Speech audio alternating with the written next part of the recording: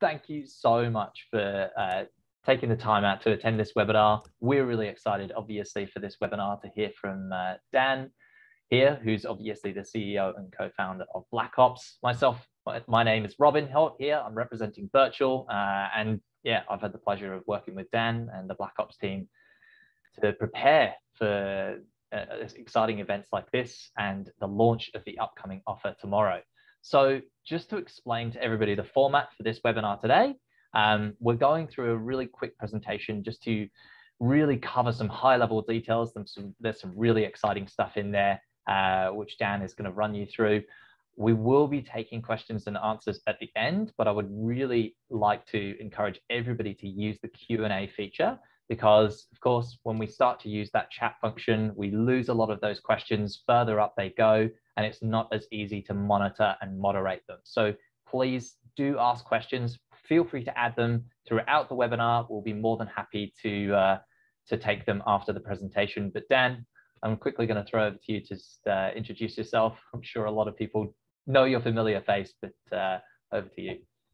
Awesome. Uh, yes, well, I'm Dan, co-founder uh, and CEO of Black Hops Brewery. Uh, thanks everyone for joining. First of all, I do have a beer here, so I'm going to crack that. It'd be stupid to do this without having a beer. I've got East Coast Haze, which was 19th in the hottest 100 on Saturday, with no sort of marketing push on our part behind it. So we were very, very stoked with that. Um, I'm not bitter at all that I haven't been able to try it yet, being in Victoria. So was that a pun? Ah, uh, clearly. All right. okay, I'll do the content. You do the jokes. This is good. Um, Perfect. All right. Well, I've, I've, just had a look at through all the attendees. It's really cool. There's a lot of familiar faces on here. We've got a mix of staff, people that I recognize, staff, existing investors, some new ones, and obviously um, some new people as well that I don't recognize. So welcome everyone. I'm going to share my screen. I'll try and do this reasonably quickly because I know if I talk for too long, it's going to be pretty boring, isn't it? Um, can you just confirm you can see that okay? Is that the whole, the whole thing that looks, you can see? That looks perfect, Dan. Awesome. All right. And I can't see any of the chat while this is happening. So you'll have to monitor it and see if anyone's abusing me or anything in there. That's what I'm on top of. Okay. Awesome. um, all right. Well, let's kick it off with this quote from our original number one investor. You can invest in houses, you can invest in stocks, but you can't drink those, which I think is really fun. Not very businessy, but still cool. Thanks, Simpo. He's probably on this call. He just texted me two minutes ago. Um, so this is what I'm going to go through. Um, I want to go through a little bit of the results since our last round of equity crowdfunding, which was the first round ever to close by a brewery in Australia, was at the start of 2019. And our business has changed a hell of a lot since that. If you've been following us, which I know a lot of you have, you, you will know that already, but I've got some specifics to go through.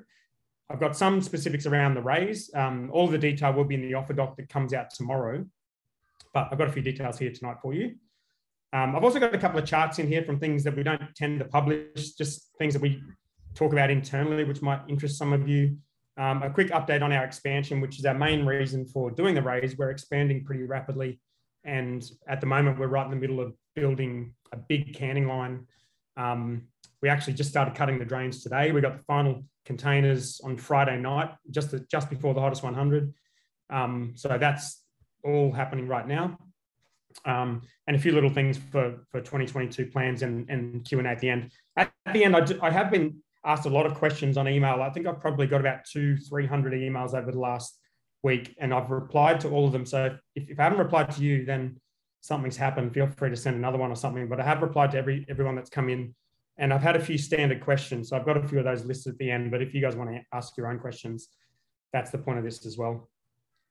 Um, so results since the last round, we brewed over 200 more unique beers, which I always like to include because it is part of what's different about Black Hops. We, we have a lot of creativity and innovation in the products that we, that we make. Um, we launched our second brewery, which I think is now pr- probably by square meterage the biggest independent brewery in Queensland. It's least it's the biggest that I can think of. We've got over 4,000 square meters of space there now that we can utilize.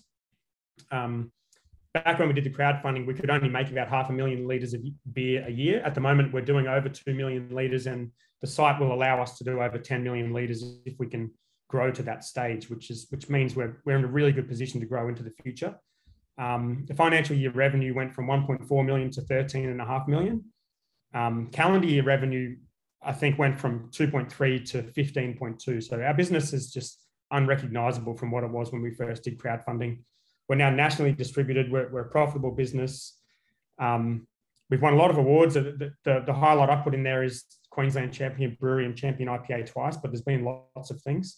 Um, East Coast Haze, this beer here that I've got as my product placement today, um, is our second best-selling beer. We only launched it halfway through last year as a brand new beer, and Goat is our uh, best-selling beer, um, our best-selling in pack anyway, and that was only launched the year before. So we've, we've released two new beers in the last two years that uh, account for by far more of our sales than any other products.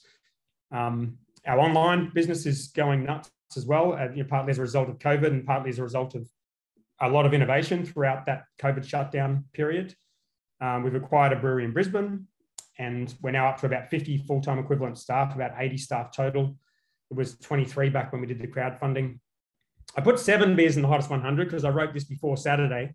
Um, that was last year. This year we've got six beers in the hottest 100, which is also a record, equal most um, beers in the list this year. Um, we got voted the number one brewery in Australia in the Beer Cartel survey, and they haven't done that survey since, but hopefully we're still regarded as the, the number one in that format.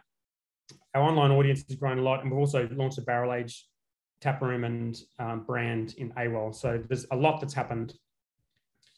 This raise, uh, the valuation is worked out loosely based on the formula that we used before, which was about four times revenue. Actually, before it was quite a bit higher than that, and we're, we're talking about that with the Birchal guys before this call that most people feel like this revenue, this uh, valuation is very reasonable given the revenue growth we'd have. Um, but I, I it's, it's really hard to tell with valuations. I just I want people to see this as a good deal, and I want people to look back on it as a good investment, like people do on the first investment. So we hope we've set that number about right. It feels about right. Uh, the share price is three dollars seventy-seven, and the minimum amount is five hundred thousand. The maximum is two point two million. Last time the maximum was four hundred, and we hit that in six days. We definitely could have gone more. Um, and this time we we want to do a big raise. If we can hit two point two million, it will be the biggest ever for a brewery in Australia in equity crowdfunding, and we like breaking records, so that would be nice. That said, I don't want you to invest just to help us break the record. I want you to see it as a good investment and invest, for that reason. Um, investor rewards are very similar to last time. The, the minimum investment is $200. So we've got um, 5% discount for everyone. All of these rewards go to all investors. Um, obviously, you get equity in the company. We have exclusive invites to events that we do. Um, we do an alpha team brew day every year, which is really fun. We get to brew a custom beer that only you guys can purchase. Um, we I, I, send out an email every quarter and you have access to me for any questions about black hops uh, we do exclusive alpha team merch uh, custom bottle opener keyring shirts that kind of thing and early access to online beers and if you invest a bit more you get a slightly bigger discount i don't really like to push discounts too much because I, I don't i don't really like the idea of taking money off a product that's already very expensive to make so i don't push that too hard but it is a discount that investors enjoy and applies to online and in the tap rooms as well. So here's a few of the charts. The, the green line is our revenue over the years, and, and you can see um, revenue is can be a little bit up and down, especially with our business where we do a bi-monthly limited release. So you can see as of last year, it's kind of month up, month, month down type situation for revenue. But overall, the growth has been very, very consistent and very considerable. Um, profitability, you can see, is, is difficult. And we got to profitability right when COVID hit.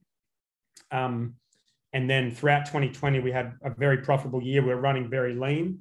Um, it was pretty stressful and pretty challenging. And throughout 2021, we really invested in the team and in the infrastructure to grow. So it's we're still profitable, but it's it's tricky to invest in the future and still grow at 100% per year and remain profitable. But it's something that I really want as a, as a business to remain profitable. It's not not something we want to dip back into being not profitable.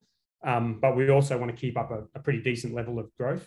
And that growth puts us at number 24 in the Australian Financial Review, fastest growing companies in the country. Um, I don't think we'll keep growing at 100% per year, but we do say that every year, and every year we, we end up growing by that much. Um, but I, I, think it would be it would be almost impossible to grow at 100% at our current size. and definitely very stressful. But we still think we've got a lot of growth left in this. In this, we're, we're just scratching the surface, I think. Um, so that chart is keg sales. You can see pale ale is still our biggest selling keg. Um, East Coast Haze is getting very, very close, and we think East Coast Haze will, will be our best selling beer. And, and, we thought that even before we launched it. And I think by this time next year, um, it'll be our flagship beer and our best selling beer. At the moment, doesn't quite have the distribution, but it's still sitting there second behind Pale. Um, and Late is actually actually a really good keg uh, beer for us throughout summer as well. Um, and then Goat is not far behind, and Send It as a session ale is pretty close as well. Most of our beer, however, these days, about 80% is in pack, not in cans. And you can see the package sales. Um, Goat is our most distributed beer, so Goat and Pale uh, go out nationally to the most amount of venues, and, and they're they're our best sellers. But you can see East Coast Haze, even without national distribution, is just rapidly catching both of those beers. So if that gets picked up by the majors this year, which we hope it will, then I think I, I can see that becoming our best beer by a fair way. Um, and then Hornets there pretty close as well, not too far behind, which has a lot of distribution in the majors. And that line you can see there, which is kind of a ready maroni. What is that color? I don't know what that color is. But anyway, there's a line there that's a weird color and it goes like this. Um, that's our bi-monthly limited release. So on the off months, the beer is basically sold out. We don't sell much. And on the on the on months, you can see we actually sell a lot of cartons of those limited releases. Most of them are going into the majors. Basically, all of them are going into the majors now, um, and they're super popular for our indie bottle shops as well.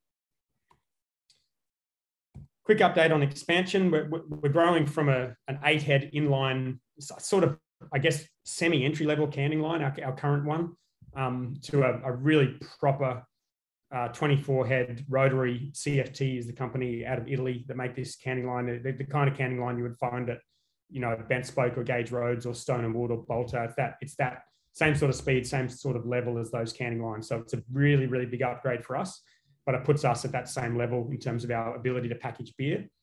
We've ordered six new big tanks, so we'll be fine for this year, kind of regardless of the growth. That's a, that's a hell of a lot more beer we can make.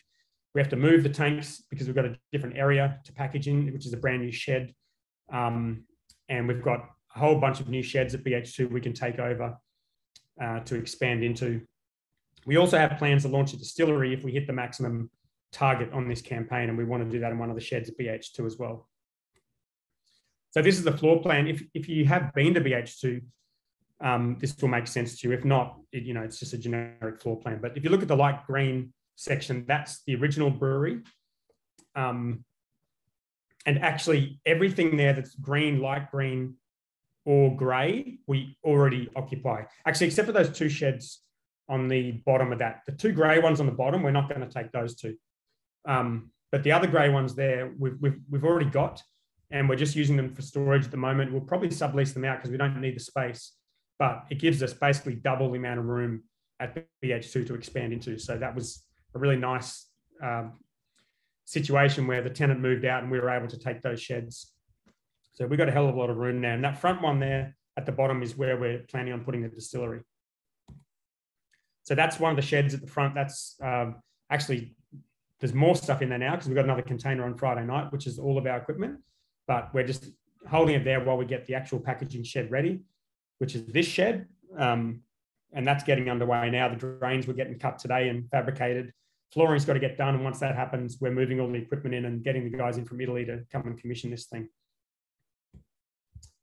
And that's the layout for the packaging line. So it's yeah, it's it's it's a pretty substantial upgrade from what we're currently doing. It's quite expensive. The whole project was about three million dollars. We funded the majority of this project already, but the, the crowdfunding will help us finish it off and help with more expansion in 2022 and just generally with cash flow as well that's a more of a close up of the machine. And the guys just went down to BentSpoke uh, last week to check out their version because they got the exact same machine, have just implemented it, and um, that they were great to us. Really looked after us and showed us around, and, and they were able to see it firsthand, which was really cool. And the distillery is, yeah, this is an idea that we've been sitting on for a little while. We want to do it, but it's going to cost us money. So if we can get some money through the crowdfunding, we're going to give this a go. We've already got a pilot still there that we've been playing around on. We've got the brand Pine Ridge ready to go. We want to do gin and ultimately whiskey. Um, and we also want to do a tap room there on site at BH2 uh, that does you know gin, whiskey, cocktails, that kind of thing. Um, okay, I, I don't think we've got too many questions. Actually, I'll stop sharing my screen. Can we move to the format with everyone's face, or is that not possible? With everyone's face? Is that what happens, or is that, or is that or, not what happens? Or 321. Well, I don't know. What happens? I want, I want to see people. I know mean. Honestly, um, when it comes to it, the Q&A format. So look, for anybody who's got any questions around any of this so far, please do pop your question in the Q&A. I think um, one part which I saw that you already um, sort of got yourself a, a little bit, um, uh, well, was the next section that we were going to cover was the exit plan and, and what the ROI is. You've already had a question here around um, around the sort of return on investment and what that looks like for investors further down the line.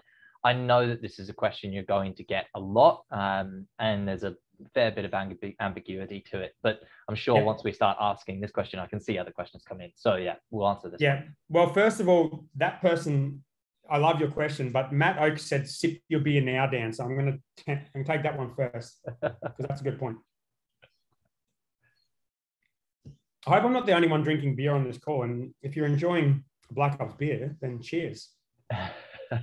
um, so yeah, I think if I just, I'll, I'll try and answer the questions on this Q and A, and then if we run out, I'll just answer the ones that I know are popular. But it'd be better to answer people's live questions if they have them. They're, they're going to be coming in for sure. Yeah. Um, so yeah, absolutely. Look, a, a question here. Um, so with this, is there any sort of ROI? Is it only for merch, team events, etc., um, and a couple of yeah. other rewards, of course. There are rewards associated with it, but people are receiving equity in the business. So um, the return on investment is, of, of, course, a question which investors want answered. Um, and I'm sure that you're in a better position than any to be able to kind of answer what this, what the future for Black Hops might look like as a result of investors coming on board uh, and owning shares in the company now. Yeah, I, the first thing I would say is, you know, investing in crowdfunding is risky, and we do put that in the offer document because it is this this is still a high growth business. It's a very difficult business as well. There's a lot of moving parts when you're making a product, yeah. um, and um, you know our business is growing as fast as any startup would ever grow. So to, to me, it's it's it's it's new, even though it's a business that's seven years old now. Um, so ROI is something like in terms of like giving you a specific number or percentage on return. I would never ever do that, and I would never be thinking about this investment in you know comparing it to something like putting money in a bank and earning interest. Um, there, there, there's two ways that you will get an ROI from an investment in a company like this. Um, one is if the company paid dividends, and the other is if you sold your shares for more money than you bought them for.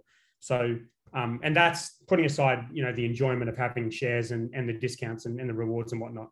Um, dividends is not something I think high growth companies should be doing. It, it's something that companies that are 20 years old that aren't growing much do because they've got free money and they can't think of anything better to do with it. And in our case, if we've got extra money, we have a massive list of projects that we could implement and keep growing the company. And so, so I've told this to investors from day one that this is not the business to invest in if you want dividends. Um, now, in terms of, um, and, and not to say we, we wouldn't ever do dividends, there are craft brewers that do it. Coopers have been paying one for 30 years, I think. Um, and you know maybe we, we will one day get to the point where we're just comfortable and profitable and we're not growing anymore and we and we do that. But you know i, I think that's a long way off. Yeah. Um the the the share situation. So selling your shares for more money there's a couple of aspects to this. One is it's very difficult to do in a private company um, unless you find you know your own person you want to sell them to. For sure. There's a couple of options for us. One is one day to look at listing on the asx um, and I actually had a conversation with someone who reached out as a result of this crowdfunding just today about that. Um, it's something that's on my radar, but I'm but it's not it's not really something I'm working on actively at this point, and, and I'll explain why in a minute. Um, the other option is if we change our structure to a public unlisted company, which is much easier, um, and that would enable us to get investors the ability to buy and sell shares. Um, what I would say to all of that, though, is that we don't actually have a lot of investors who want to sell their shares. And every year I survey our investor group, and um, I think something like 85 or 90% said they wouldn't sell their shares. And that was not even considering what how much they would get to them, get for them. And a lot of these investors would get a lot um, because they invested very early on. Um, so while we don't have a lot of investors who want to sell shares, it won't be a priority for me to set up the functionality for them to be able to do that.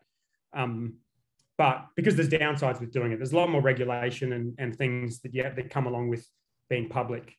Um, but that's something I monitor all the time. I'm always talking to investors. I'm really conscious of the fact that you don't invest in a company for nothing. You, you do want to get a return eventually. Um, and at some point, if it makes sense for us to list or go do public unlisted for any number of reasons, one of which is that we have a lot of investors saying, hey, I think you guys are smashing it and I'd like to get a return on my original investment, then, then we would look at doing that. Um, the other possibility is if, if the, the laws change to allow private companies to kind of buy and sell shares, yeah. which is the only reason we're doing crowdfunding right now is because the laws changed to allow private companies to do crowdfunding. So that's that's a possibility as well. Yeah. Awesome. Um, yeah. If, if, if, am I able to ask if they, are happy with the response and just to you know if they got any further questions, I guess they ask yeah. another one. I would um, I would absolutely say that the the response might come through. Since answering that question, you've just had another 24 questions asked. So cool. uh, yeah, there's quite quite a few more. But no, I'm not uh, in any way telling you to rush it because I think that the content is so valuable, and I think it's so important to to cover that in so much detail because, as you say, this is an investment into a private company, um, and people need to be responsible about it. That being yeah. said, I think that your narrative for remaining independent as a company is also a really strong piece because ultimately people are maintaining shares into a company whereby your objective isn't just to sort of prop this company up and then sell it very fast. That's not your aim, and it hasn't been your aim from the get go. Uh, yeah. And uh, ultimately, I think that we can revisit this a bit, bit further down the line um, if there's any more particularly detailed questions. Um, Shane here has asked a question. So Shane Morgan, thanks for asking a question. Just wondering if you can offer commentary on what is observed as revenue trending up and profit trending down. Yeah, there's, there's a fair bit to that. I'd say a massive part of it is um, back when we first hit profitability, when COVID hit, we were sitting at about 40% keg sales and 60% package sales. Um, that, that has really flipped with COVID. So our business now is mainly selling canned stock into Dan Murphy's. So it was we went from sort of mainly indies to mainly Dan mm. Murphy's, mm. Um, and so margins go down as a result of that. So that's that's part of the story. It's not the whole story. Um, the other part of it, especially the last calendar year, is we've the tap rooms have not had a good three months during the, the time of the year um, when that is kind of your money making time, like December, yeah. January, October, November, like that period is when your tap rooms really should be cranking. And we didn't have a good run of it in those months. And really, I, I would put it down almost 100% to COVID and what was going on with COVID. Yeah. Um, it's probably not the only reason. Like like HQ in Burleigh has a lot more competition now, so I think we've we've felt that. Um, but the tap room makes up a good chunk of your profitability, and when and when the tap rooms are not performing as you want them to, that's a big hit. Um, the other one is we've really changed the way we do production at Black Hops. We've got a big production team. We've got a big site now, um, and we've we've sort of we're building and planning ahead for a lot more growth, and that's come at a cost. And um, I guess that it's also come as a benefit though that don't that doesn't turn up in, in the P and L, which is we're now operating as a business with, you know, we've got a HR person, we've got a safety person, we've got a production team that isn't massively overworked, we've got a much safer workplace, a much friendlier workplace. Um, staff are happier. Like this kind of stuff is not really things you measure in a P and L, but when you're going from startup mode to established business mode, um, you just can't run on fumes forever.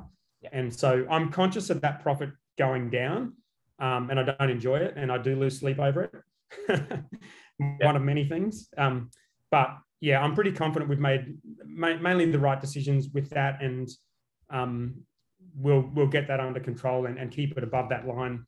Um, although I, I don't think we will go back to the sort of percentage profit levels we were in 2020 until we get much more volume because we built the brewery to make a lot more beer than it's currently making.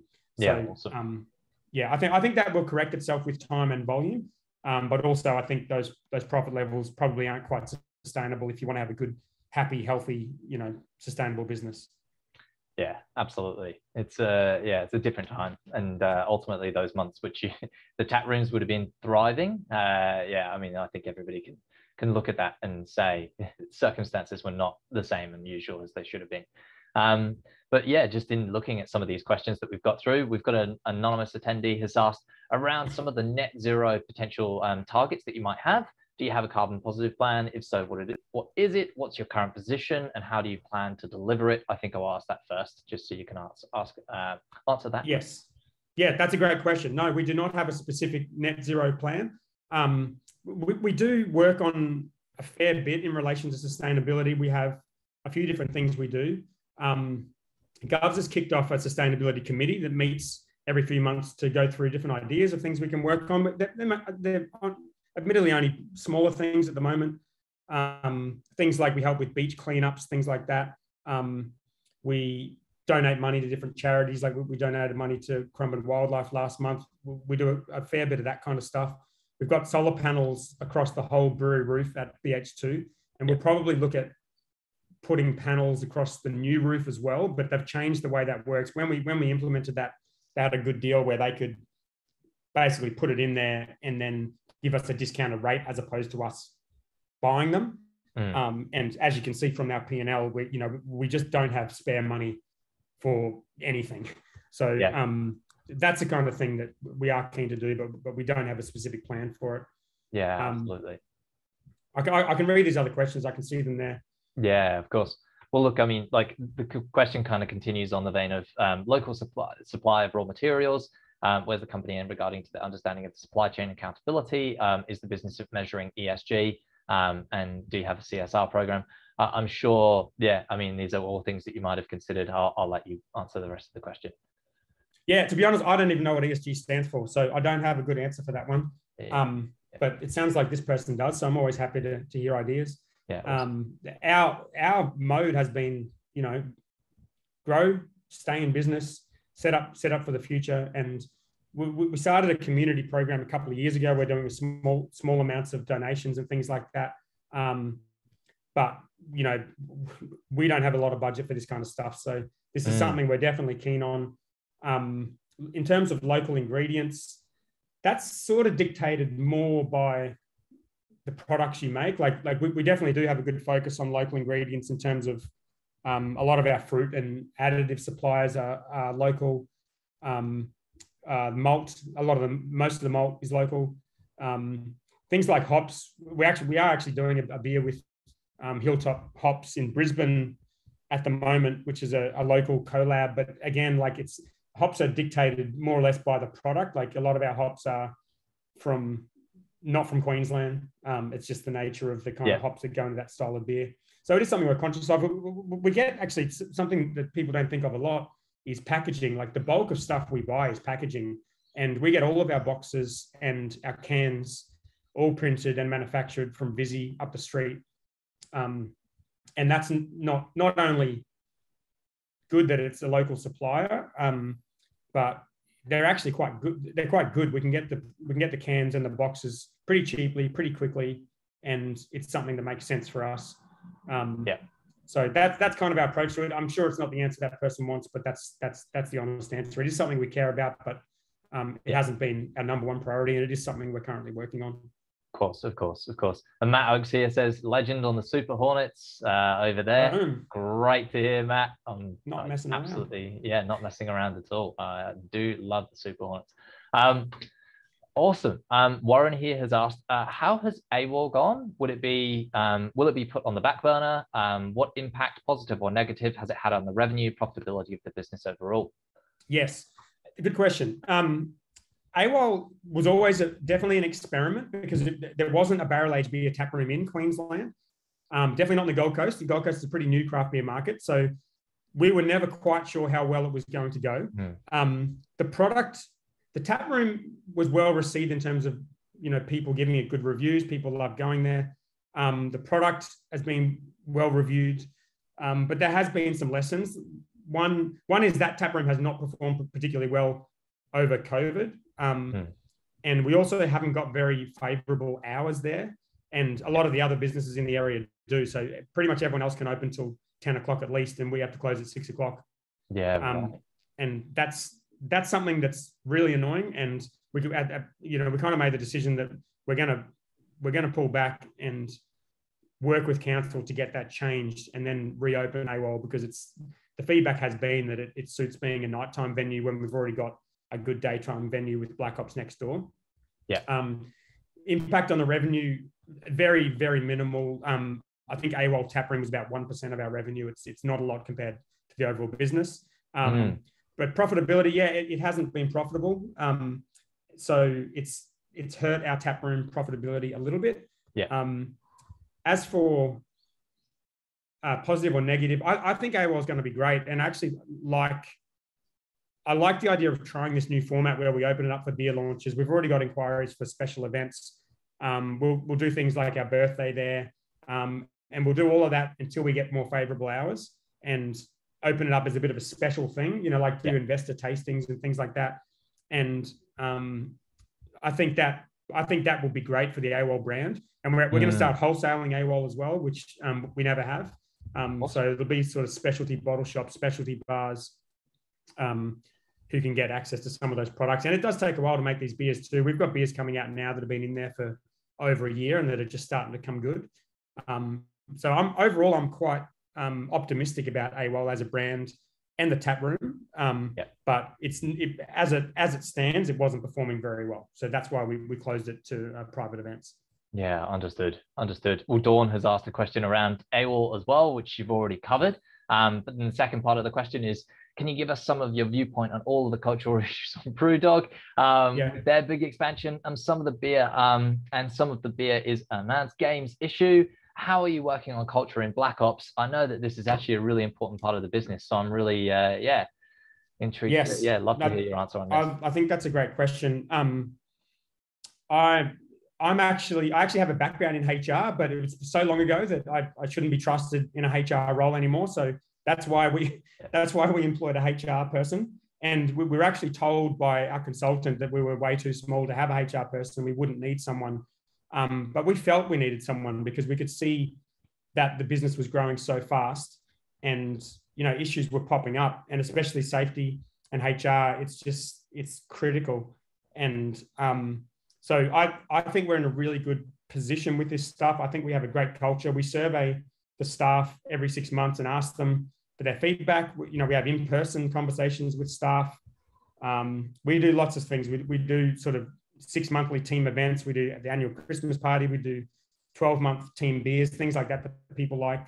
Um, we we are working actively to make sure people aren't working too many hours, which I think we're we're actually doing all right on. Um, but you know, as a startup business, like you know, we and, and I and I know you mentioned BrewDog there, and I, I've read some of the stuff about their expansion. And um, you, you start a business and it's all hustle, but you kind of forget that the the people working for you, you know, are not owners of the business, and they're not the people who started it, and they want a job. They don't want the stress of being an entrepreneur. So um, we're super conscious of that, um, and I think we're doing pretty well on that, and it's, it's ongoing. Um, Yeah. The the BrewDog question, I it's I just it bums me out because when we started, BrewDog was a brand that we really looked up to. They they did you know they did that kind of TV show that we we like used to watch it. It was so cool. Um, we met one of the founders, came over uh, to Australia and came to our brewery and met him. He was like honestly one of the nicest guys I've ever met. Um, Mm, Martin was, the founder. Um, and then you read all this stuff, and and you know it's just it's just so shit to read that. So I don't I don't know. I, it sucks, but yeah, definitely. Definitely. yeah. Yeah, absolutely. No, I uh, couldn't agree more. Um, But but but I do I will say that that what I've read is shit, and if you know, and if that's true, that that's not that's not ever going to be what it's like at a company that I that I run. yeah. Yeah, totally. But, I- but I- Totally. you know, I, I do I do worry that sometimes that, in this case, there's a lot of staff members members have come out and said this, which is really troubling. And I don't want to bag out another brewery because I, because I do like BrewDog, Yeah. but um, yeah, it, it's it's not cool. And I think I think the industry over here is well and truly on top of that. Like they know it's not cool, um, and you know stuff like that gets called out pretty quickly here. I, I think we're we're pretty good on that front. Um, but yeah, it, it bums me out for sure, and, and shouldn't that shit shouldn't go on in any industry. Definitely, definitely. All right. So Richard here has asked a question. Um, Hi Dan, do you see any risks to the craft beer sector in the near term? Yes, um, I think. I mean, there's there's risk to any business. So I think you know, I think being in business is risky. Full stop. Um, and the other thing I'd say about risk is, you know, like we did, we did our risk section for our last crowdfunding in 2019, and nowhere on there did we put, you know, maybe there's going to be a global pandemic that completely screws up hospitality in the whole industry. And so with risk, you, you just don't, you just don't know. Um, but in terms of the craft beer sector, I think I think the big thing is um, alcohol consumption generally is declining, and that's always been the case as long as we've had a business. Um, there is a lot more, but craft has been growing a lot, and I, I, as far as I can see, it still is. Like our business is still very, very much growing, um, but there is a lot more products and a lot more competition now, and I, I think that that competition has definitely come from other breweries.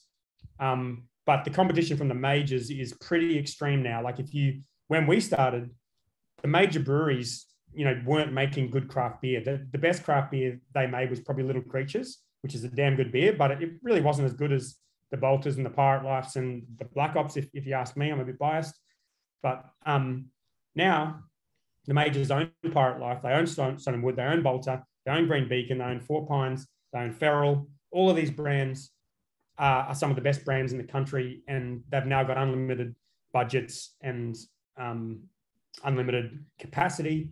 And as, as you can see from the, from the hottest 100 on the weekend, if you follow that, they're still resonating with consumers. You know, people still like Stone Wood Pacific Ale and Balter XPA and Feral, Biggie Juice, and, and all the other ones.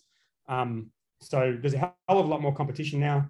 Um, mm. I think we're and from other products as well. There's sort of um, a lot of a lot of different products coming out with um, seltzers and you know gins and all kind of craft, any kind of craft spirits, they're taking off. So there is a lot more competition. I, I guess I, I, what I would say to that is that I think we're in a really good position now because we are one of the bigger independent breweries, and Definitely. we did, in hindsight, get in pretty early. It didn't feel early at the time, but if you, if you look at where we are now, it, it kind of shows you that when we started making beer in 2014, it was actually very early when it comes to craft beer.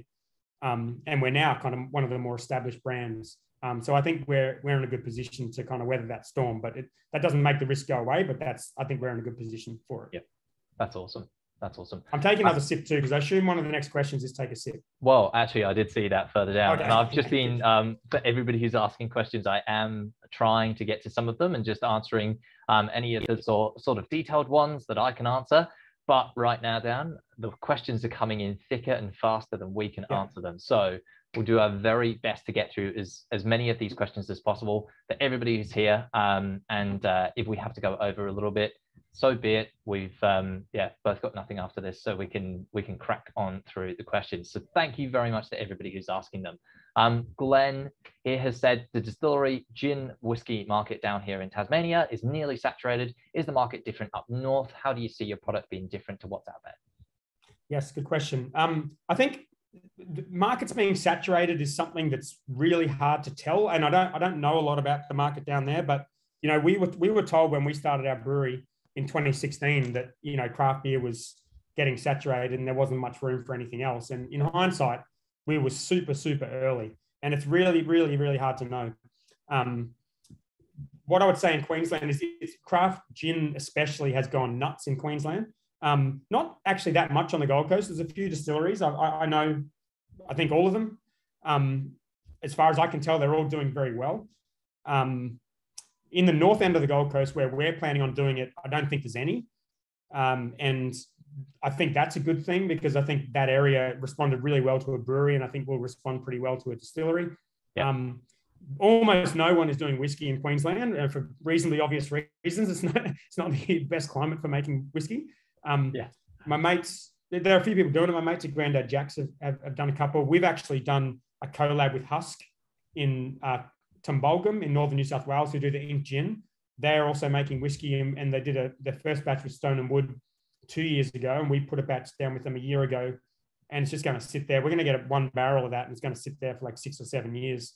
Um, there's another place in Byron doing whiskey. There's, there's a couple, but not like Tassie. We, have talked to guys like um, Lark a bit um, down there. We, we do a, a um, barrel aged beer using their barrels, um, and you know, pretty inspired by what they're doing down there.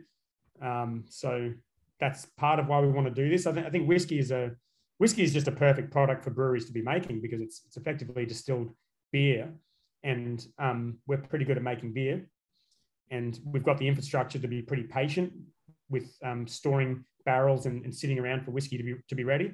Also, um, I like the name Black Malt, which uh, makes a lot of sense. The brewery's called Black Hops, and I like that as a, as a name for a whiskey. Um, so we've been thinking about this for a while, and yeah, I, I, don't think I don't think I wouldn't describe the market here as saturated. It is getting very very popular, um, but where we are at BH2, there's not a whole lot there. Mm. Yeah, awesome, awesome. Um, and Dan here below has uh, said, what's the current time frame for all the implementation of these plans, uh, for, the, for implementation of all these plans um, that you've described? Yeah. um, I was saying to the Birchal guys before this call that the way we like to do things is we don't like to overcommit. And that's why at the start of this presentation, we had a big list of things that we've achieved since the first crowdfunding that we didn't promise anyone we would achieve. All we promised with that first crowdfunding was that we would open a second brewery. And by the time that crowdfunding was closed, we were 90% of the way through opening that brewery.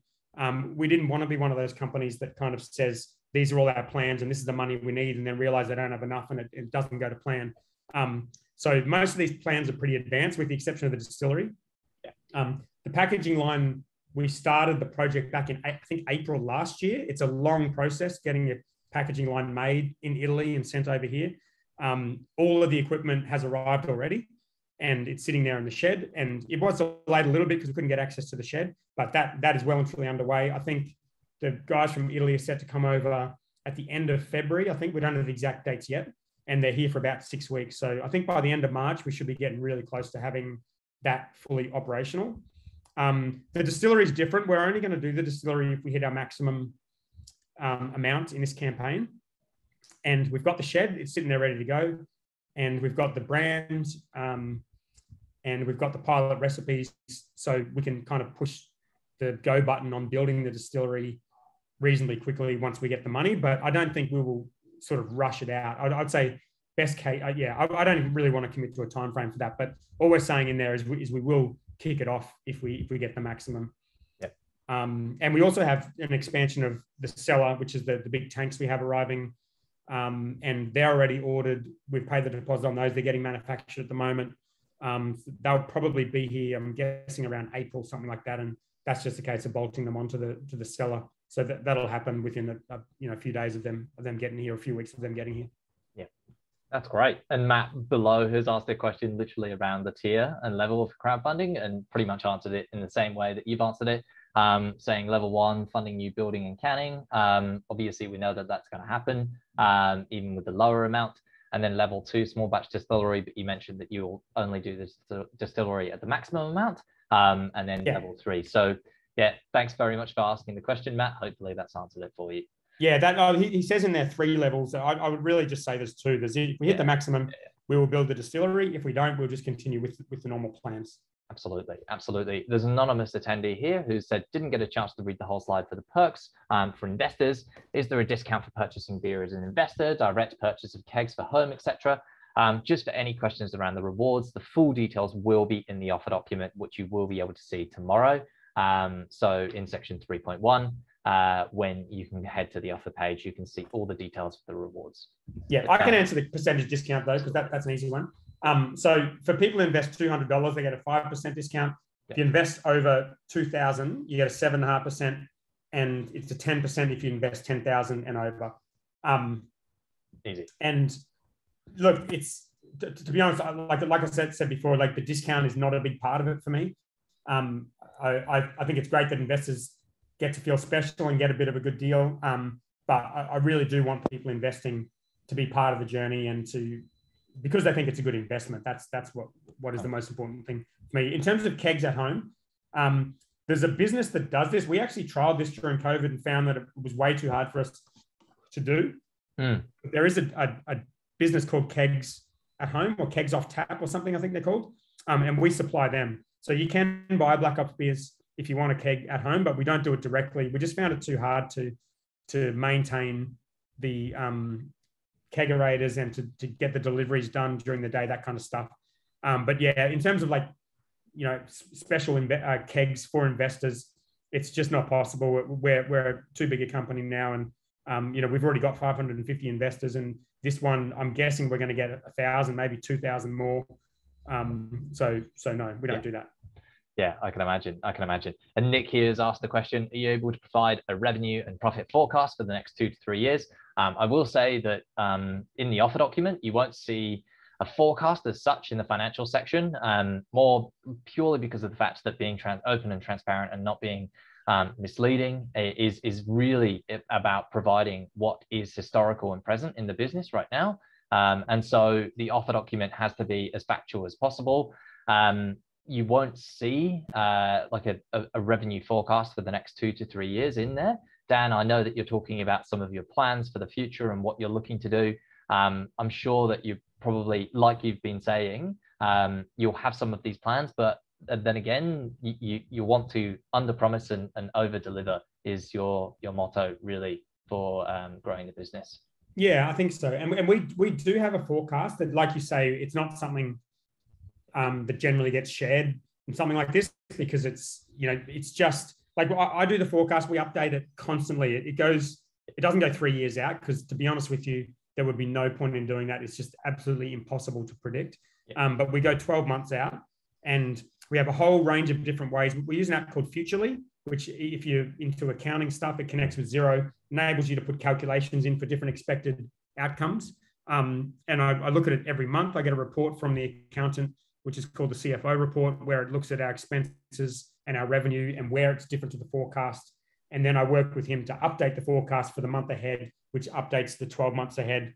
Um, but it's just, it's never, never right. And I don't think it's because we're bad at forecasting. I just think it is just it's an it's an unpredictable business when you're growing at 100% a year, or even if it's 20% a year um, you know, you're talking about you're talking about one or two more products just to change everything, or you know, the COVID thing takes off and the tap rooms, you know, go down for a couple of months. It changes everything. So it is something I do. We do it regularly, um, but yeah, we don't put it in the document, and we, we do use it for things like signing um, contracts for hops and things. But it just changes so often that it's like you just couldn't forecast two or three years out. I wish you could. It would make things a lot easier. But then if it was easy, then yeah. everyone would be doing it. So exactly, and then, but even forecasts are challenging in any environment. But this in this environment, it's like it's near on impossible. I think for every single business, and even um, even in Birchal itself, which is a startup, like forecasting and trying to put any kind of plan together that's further than six or twelve months is just impossible. Yeah, uh, I, I will say to to, yeah. to Nick's question, um, I don't think we're going to grow at the rate we have grown at, and that's I, I, don't think that's necessarily a bad thing. You know, a lot of the work we're doing is making sure we're comfortable and, and we're focusing on quality and the team's happy, that kind of stuff. I think if we can grow at 20 to 30%, that would be a really good outcome. We're not going to go from 80 staff to 160 staff a year from now. I just don't think that's going to happen. And I think that's fine. Um, you know, if businesses, I remember when Stone and Wood were kind of going, going through their growth when they were sort of 10 odd years into it and they were growing at 20% a year I think if you if you get to a decent size and you're profitable and you're growing at something like 20% a year, I think that's best case scenario. Yeah. Um, so I think our growth will reduce. Best case scenario, it's not 100% because that would be too mm. stressful for everybody. Um, yeah. If it's 20 to 30%, then that I'll be very happy with that. And that's that's what I'm hoping for. And I guess I guess you could say expecting with a big yeah. asterisk beside it. yeah, definitely, definitely. Adam here has asked the question, what do you see as your main threats and weaknesses with your future expansion plans as a business? And I'm sure you could spend a lot of time on this, um, but yeah, I'll, I'll hand it over to you to, uh, yeah, to answer. Yeah, thanks, Adam. Um, the, we, we do detail risks in the offer document, so you can check that out. Um, I, would say the biggest thing is we are building um, a big production facility uh, that supports a lot more production than we currently have. So if you look at our current production, we're sitting at about 2.2 million litres. Um, I don't think there's a brewery in the country doing that volume with this packaging line. as far as I know, actually, perhaps BentSpoke. I actually don't know how much volume they do, but um, this upgrade we're doing is very big. We, have got a we've got a big brew house, we've got a big cellar, we've got a very big packaging line, um, and we've got a team that's built for growth. So if if we don't grow at all, then that's definitely a risk. Um, we, have got a lot of expensive equipment there that, that will be underutilized if we don't grow, and a lot of square meterage if we don't grow. Um, I'd probably say that's the biggest risk. We, we do have the ability to um, sublease out those sheds, which we probably will do to save on rent if we don't need the space. Um, and I mean, the, the, canning line is also a big step up in quality too. So it's not like it's a bad thing to have if you're doing 2 million litres. Um, it actually would have been nice to have it for this calendar year, but it is a very big upgrade. So I'd say that's probably a bit of a bit of a threat. Yeah, awesome. Awesome. Um, and Ross here has said, given you release so many different beers each year, um, does that impact on profitability compared to other breweries? Um, do you think in the long term the product range will become smaller and more focused as a business? Um, yeah, I, I, would say like our experimental beers don't really go outside of the tap room. Um, and profitability, not so much because we do do calculations on those beers. We kind of work out how much they cost to make. We charge a lot more for them because they cost a lot more to make. We sell most of them directly, which is which is nice and profitable, or online. Um, so that sort of stuff we're pretty well on top of. We, we definitely could be better with costing out inventory and, and, beer and whatnot, but we're, we're pretty on top of that. Um, the overall range that we sell, I mean, definitely you would say that it would be way easier to have one product. Yeah. Um, but you know, it, it, it, was always the criticism Stone and Wood that they only had one product, and yeah. um, you know, I thought, well, that's awesome. it's good. It would make things so much easier. Um, but that's not in our DNA. You know, we're we're a business that makes a lot of different beers, and I'm I'm actually really proud of that. I think I think our core range does tend to get a bit long and out of hand sometimes. Um, but that's in our DNA, and, and, that's something I'm proud of, and I don't think will change. I, I, don't think our core range will get any bigger, and it might get a bit smaller. We might ditch some of the, the, the beers that aren't performing too well.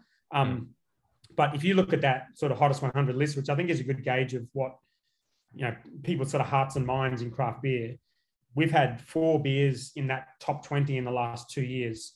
Um, Pale Ale, Hornet, East Coast Haze, and Goat and I actually haven't looked, but I doubt that any other brewery has that. We've, we've two years in a row we've had we've had the most beers in the list, um, and I think that's awesome. I think that's really good that we have more than one beer that people love, and um, it makes people love the brand as opposed to loving the product. And um, it would be easier if that wasn't the case, but that is the business that, we're in, and, and that is not something I intend on changing. Yeah, awesome, awesome. Yeah. Um, and you've got two questions below, both anonymous attendees, but um, yeah, they're so similar. I'm going to batch them into one. I'm interested into why you're using uh, equity crowdfunding versus normal capital markets. Um, and then and the other question goes on to ask, after seven years, um, have you looked at debt financing? Is this due to kind of your cash flow position and your operating um, your operating profit and revenue graph uh, yep. perhaps not being as favorable to, to debt financing itself? Um, but uh, yeah, I'm sure you've explored a number of these different options. Uh, yes, we, we act, we're actively doing both. So so we have um, we've got a good relationship with Judo. We've got debt finance through Judo um, and have done ever since we um, launched BH2. So it's something. So so we are actively doing both, um, and we've also done private rounds. The last one we did was at the start of 2020, at the start of COVID, and we raised 1.6 million dollars in under a week just from existing investors and just from me sending them an email and getting them in a room and having a chat to them. So there's a really, really healthy appetite for people. And that was during a pandemic. just just as the pandemic hit was when that round was closing. Um, so there's a very good appetite for people investing in black hops. I love crowdfunding. I always have. It's it was something I waited around for years for it to be legal. I wanted to be one of the first breweries to do it. I think it perfectly aligns with our brand. And you know, my investors asked me, just, literally just the other day, one of them says, I still don't understand why you want to do crowdfunding and not just get more investment from us. But I think it's a really good thing for the industry. I think it's a good thing for our perfect fit for our brand. Yeah. Um, and and I don't want to just get debt because we don't want to have millions of dollars of debt. Um, I also don't like giving up equity. You know, like like we we started Black Hops with 100% equity and we're down to about 51% between the three founders. So you don't want to just do equity um, finance. So you want to do a bit of a balance of both. And I think we've we've done both, try to balance it out. This round, I think if we get a bit more debt finance, for the equipment and max out this round, I think we'll be in a really healthy position with finances, and that'll be nice because as a startup over the years, there's been a lot of times where we definitely didn't have enough money, and that was very stressful. So um, yeah, I, I, like to do both, and um, I think they both have pros and cons.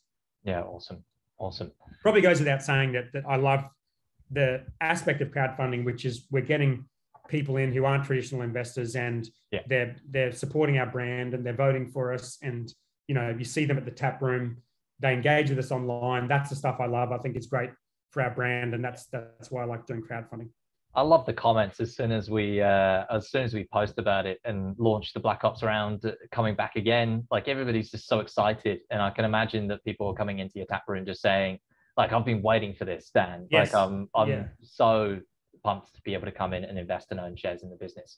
Um, yeah, it is. It's actually a lot of work too. I mean, I would do it more often, and and and no offense to you because you guys are legends, but doing an equity crowdfunding campaign is more difficult than me sending an email to 50 investors and asking them for more money. So that, that kind of weighs on your mind as well, but it's, it's pros and cons. Yeah, totally, totally. So Mark here has asked, um, said there have been some craft breweries who have sold out to um, established international players upon the brand growth and portfolio development.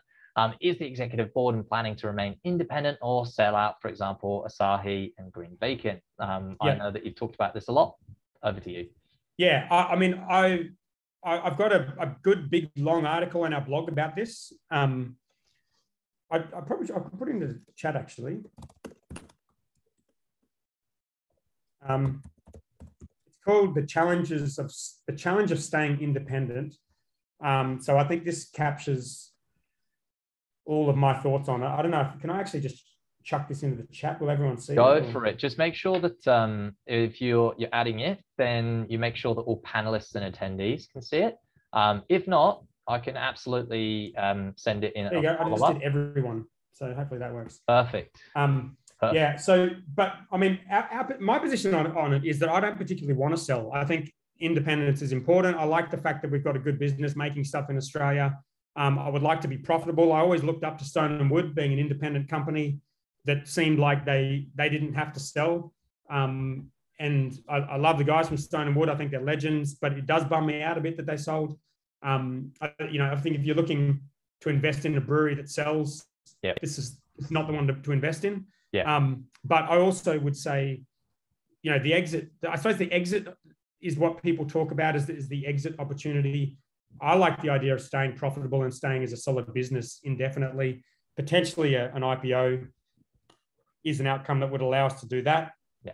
Um, but the, the other thing I would say is um, I would never, especially after seeing what happened with Stone and Wood, I would never say we will never sell. And, and I've talked to most of those big companies already. I've talked to Lion Nathan and Coke and all of that before. Uh, you know, I, I have been in contact with them. It doesn't hurt to talk to them. It doesn't hurt to know where you're at. It's just not an outcome that I think really suits our business, and it's not really one that I want. Um, but it's also not something you would ever rule out because I think a lot of the times the founders kind of just decide, you know what, um, I don't want to do this anymore. Yeah. And yeah. if that's the case, and you don't feel like you got a good handover plan, then maybe you know maybe you would sell. But it's yeah. it's not an outcome that I'm particularly fond of personally. Yeah, absolutely, absolutely. Before we do do move on to another question, I will say to everybody who is here who might have to go, um, we are recording this session. I will send it around to everybody who um, does have to move on to anything else. We've got 82 open questions, Dan. So there's a lot right, more I will, here. I will try to answer these. No, no, no. Well, um, uh, all I'm just just going to say to everybody is thank you so much for the the questions and genuinely engaging. Uh, I'm really loving the chat that we're having. So yeah, thank you very much for coming along. Um, we'll do our very best to get through all of these questions, and I'll make sure that I can type answers to to people if um, some of the questions require a lot more detail. So um, why are you looking at diversifying into gin and whiskey from an anonymous uh, from an anonymous attendee? Yeah, I, would say that the, the, two reasons. One is um, I think where we are at BH2 is a really good location to do a, a gin and, dis- and whiskey distillery. Um, the other thing is, is, we're all pretty keen on the idea of doing whiskey because we think it's a great fit for our brand. And uh, we think a brewery like ours that's got a big site, um, you know, a good hit track record of making high quality beer um, and the ability to kind of store the whiskey, a decent enough size business to be able to store it, a decent amount of it, um, is a really nice fit for us, and I think it works really well with the brand. So that, that that's the main reason. Yeah, awesome, awesome. Um, okay, great. And Scott here has said, based on your previous growth, both sales and building expansion, what is the target with regards to staffing, overheads? Um, has a certain number been factored in? Yeah, it, like we don't really tend to target staff. I sort of look at I look at a percentage that we're spending on wages. I keep my eye on that, um, and we try to keep that under control. So as the business grows, we try not to hire people that throw that percentage out because if we do that, it kind of screws with our P and L and puts us in a bad position. Um, but yeah, it, it's not something. It's not something we specifically put in in terms of we're going to be hiring this many people. It's more like we could hire 50 people right now, but um, like we can't afford to. So as the business grows, we try to do that gradually and keep that percentage in check so we keep some profitability there. And I look at that every month. And once that looks more healthy, we start considering hiring more staff. For sure, for sure. Awesome. Um, and Craig here has said, do previous investors have preferential shares above this launch? Um, so yeah, yeah no. Um, Dan, yeah. Yeah, ahead. no. Um, so well, I mean, in terms of the shares, all shares are the same. So the shares that you guys get are the same shares that I own. Um, I own a lot more of them because it would cost you a lot of money now to buy the amount of shares that I have. Um, and likewise with people who invested early, especially like our first two investors invested before we even had anything. Um, those guys have exactly the same shares, but they have a shitload of them and they're worth a lot of money um, because the valuation was nowhere near what it is now. So depending on when you invest, I guess the benefit you get is that if the business grows and goes up, then your shares are worth more and more. But the actual shares themselves yeah. um, are not different to the shares that the founders or the original investors have. Yeah, awesome. Awesome. Um, Alan Hayes, thanks very much for your question. How does the current share price compare to the original Alpha first investment? Yeah, so current share price is $3.77. The original crowdfunding was $1.18. Yeah. Awesome. So the value, I think the valuation went from 18 million to 65 million and and the, the business has grown by more than that percentage by, by a fair decent margin. Yeah, I think Alan is one of our original investors too, by the way. So oh, awesome, awesome, awesome. Uh, Adrian, uh, will you be open to PE or larger brewery acquisition? Is that a potential exit option? I know we've covered this a little bit in detail. Yeah, um, yeah and I, I, I think you've pretty much covered everything on this topic, but yeah, feel free. I'll, I'll, answer it again just because he mentions private equity, and, and, we've avoided that. We've avoided any kind of sort of institutional investors um, outside of the original five, I suppose, founders and two original investors. No one owns more than two percent of Black Hops, which means we've got a good structure for control of the business. Um, we have full control of the business, and we I don't want someone else to come in with an agenda to sell because I don't particularly want to sell. I wouldn't I wouldn't describe it as a on principle. I don't have a problem with people selling their business. In fact, I sold my last business, um, but it just I just don't think it's a good fit for a craft brewery that's that's like Black Hops. And um, so I wouldn't describe it as necessarily a principle, although I do, I do think independence is great. And um, it's important for people to be making things in Australia and companies to be owning it here and mm. shareholders to be residing here. I think all that is super important. But not to say we would never sell because like like I mentioned before, maybe one day we would. Yeah, definitely. All right, next question. Take another sip. Oh yeah. Take another sip. What's the management structure beneath you? Yes. Uh, beneath you, you that sounds hit. a bit derogatory, doesn't it? Um, yeah. Well, I mean, it's yeah. yeah, we, we've had a proper management structure at Black Hops for about three years. The first three years, we didn't really have that. Um, so I'm the CEO. Uh, we have Eddie and Govs, the two other founders. Eddie's the, the supply chain manager. Govs is brewmaster. We have Ian, who looks after production and the production team. Ian Watson, who's, who's quite a well-known uh, brewer to people who are into the industry. Um, and then we have two guys that look after sales. We have, uh, and, and somebody looks after the tap room. Underneath there, we have another other levels depending on where they are in the business. Um, so I, would describe it as a pretty traditional kind of structure, which I, I actually like. I think it's important for people to have a clear line of reporting. And it's actually always a real challenge for us, and it still is, to kind of find the correct reporting lines for people so they know who their manager is and where they go for problems. Um, and being a small startup that's you know always understaffed, it's been really difficult to get that right. And in fact, in the first few years, we didn't even have that. It was just like, yeah, the founders and the rest of the company. Um, but we're all paid a wage. We're all, we all have employment contracts. We're all treated as much as possible like employees, which which I think is the best way to go. We, we run like a serious business. Um, but the founders are always the founders. So, um, you know, pe- people have, have a different, I guess, you know, thoughts about the founders as, as opposed to normal staff, which is normal, but we all have roles with position descriptions and remuneration commensurate with the roles. And I think that's, and, and a little bit of independence with a separate HR person. And so, and so I think that's important. Um, and yeah, it's, it's not, it's not a modern flat structure. I, I, I think hierarchies work reasonably well, and, and it is it is a, proper org structure. Yeah, awesome, awesome. Um, and Taylor here has asked, hello, how many shareholders does the company currently have? Yeah, so we've got 50 private shareholders, which is sort of like the traditional investment rounds, and we've got about 500 equity crowdfunding investors from the past round.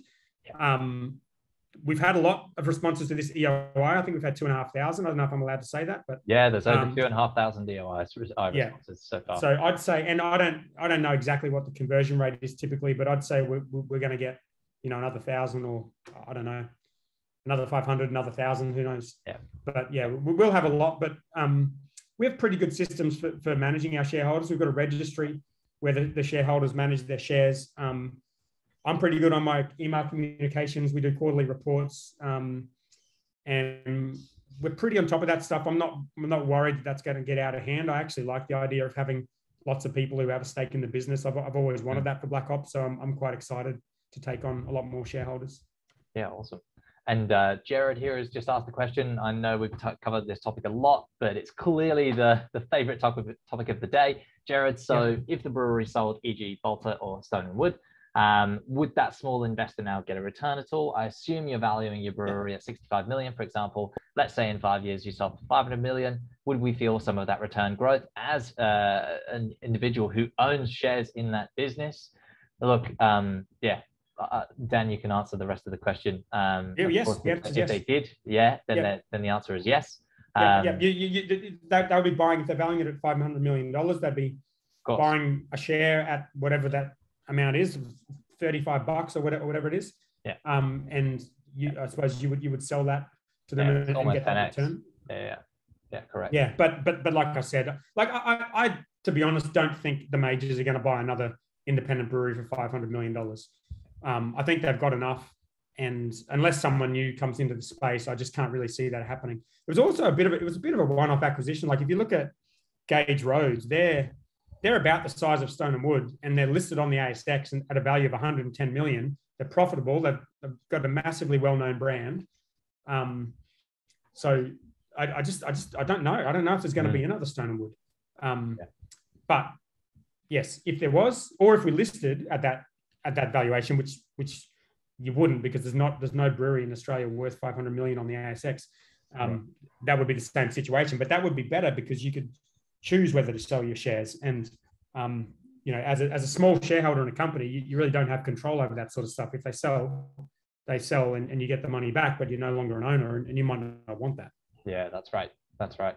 And Mark here has asked, are you looking to secure export markets for the product portfolio range? No, no time soon. We've, we've got we've got a lot of work to do in Australia, so so we've, we've had opportunities to export, but the, mm. the, the sort of proper craft beer doesn't export very well. We don't pasteurize our beer; it's not really well suited for exporting. So it's not something we're looking at anytime soon. Yeah, awesome. And Daryl here has asked, um, yeah, do you have a board structure? What does it look like? Yeah. Technically, the board is me and Eddie. Um, we, ha- we have experimented with um, an advisory board, which we had for the last financial year. Um, we don't have it currently. I, I, did find it useful, but it was sort of a vol- voluntary thing. Um, the way the current constitution works is and you can read it because it's up on the page when, when we launch tomorrow, mm. um, is your shareholding entitles you to board seats. And the way it is at the moment is that me and Eddie are the only ones entitled to a board seat, and we're the only directors. Um, and I actually think that's working pretty well. I think if, if, we were to, I think if we were to go down the path of listing, we would probably have to set up a proper board with some kind of industry people. Um, and but I, I don't I don't really think it's something we need Um, I think the business runs very efficiently, and and me and Eddie work really well together. And you know, like like it's not just me and Eddie making decisions. It's you know me, Eddie, and Govs are making the decisions, and the management team meet every two weeks. And I feel like I feel like we we do pretty well on that front. We don't need a board that's more complicated than it currently is.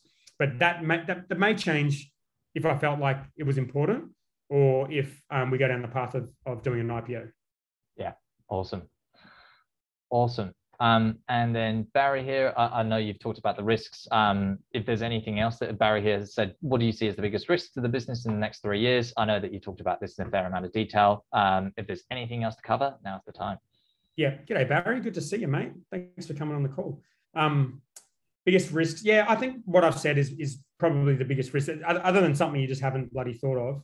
Um, I would say the increased competition is significant now. Um, the decline in in alcohol and um, you know our, our business is, is it's pretty crafty in what we do. It's it's not not not particularly mainstream. We're you know we're not doing we're not doing the seltzers and the the kind of easy drinking yeah. tins and stuff like that. So um, it is it is a real crafty thing that we're doing, and I, and I think that is be, becoming much more and more competitive. And I, I suppose that's our biggest risk. Um, but yeah, I don't I don't I don't think there's anything particularly outside other than it's just you know it's a, it's a tough business to run. It's there's a lot of challenges that present themselves all the time, and I think I think that's a big reason why you see those acquisitions is like staying profitable, staying safe, keeping the team happy, keeping the founders happy, keeping the investors happy. It's incredibly difficult. And um, I think that's why you see a lot of these companies selling. So, you know, I, I, try to focus on that stuff, not so much as a risk, but just as a good, a good thing to remember. Um, but yeah, yeah, that's probably all I can give you on that one. Yeah, definitely, definitely. And uh, anonymous attendee has said, do you cold chain your beer from production site to bottle shop to ensure the quality of the product is maintained? Yes. Uh, so, so we do for independence. Um, all the beer at Black Hops is stored cold, and um, we all the indies, as far as I know, store their beer cold. All the majors don't, unless we do direct to store delivery. Um, so we do send the beer to the DC, which which we don't have any choice over. It would be great if they kept it cold. Our interstate distributors keep the, keep the beer cold. Um, but Woolies and Coles don't, and it sits there in a, in a warehouse that's ambient temp. And to be honest with you, I, I, you can tell. Like if, if you go to Woolies and BWS um, and you get a beer that's two months old, that's been sitting there in a warm shed, it doesn't taste as good as a beer from your local indie that was canned three weeks ago. Um, but that's just part, part of the challenge of growing a brand like this. It, um, it, it probably tastes better than the other products available in the shop, but it's better yeah. the closer you are to the brewery and the quicker, um, you know, the closer to the brew date, the, the better the beer tastes. Of course. Um, yeah. Of course, of course. And Nathan here has asked, uh, has the canning line been holding you back? Is um, close? Oh, I feel like it's cut off. I need to just. No, I can I can see it. It's it's it's, it's close to yeah. three million liters yeah. possibility. Yeah, to three million liters. Yeah. Yeah, the, no, I would say that the canning line didn't really hold us back. We were able to get through that. We were doing two canning shifts. We were running seven days a week. Would have been easier to have a better canning line, but we didn't. We didn't slow growth down, which I think is is the crux of your question there. We I, I like growing organically. I like you know taking the deals as they come on as opposed to chasing them.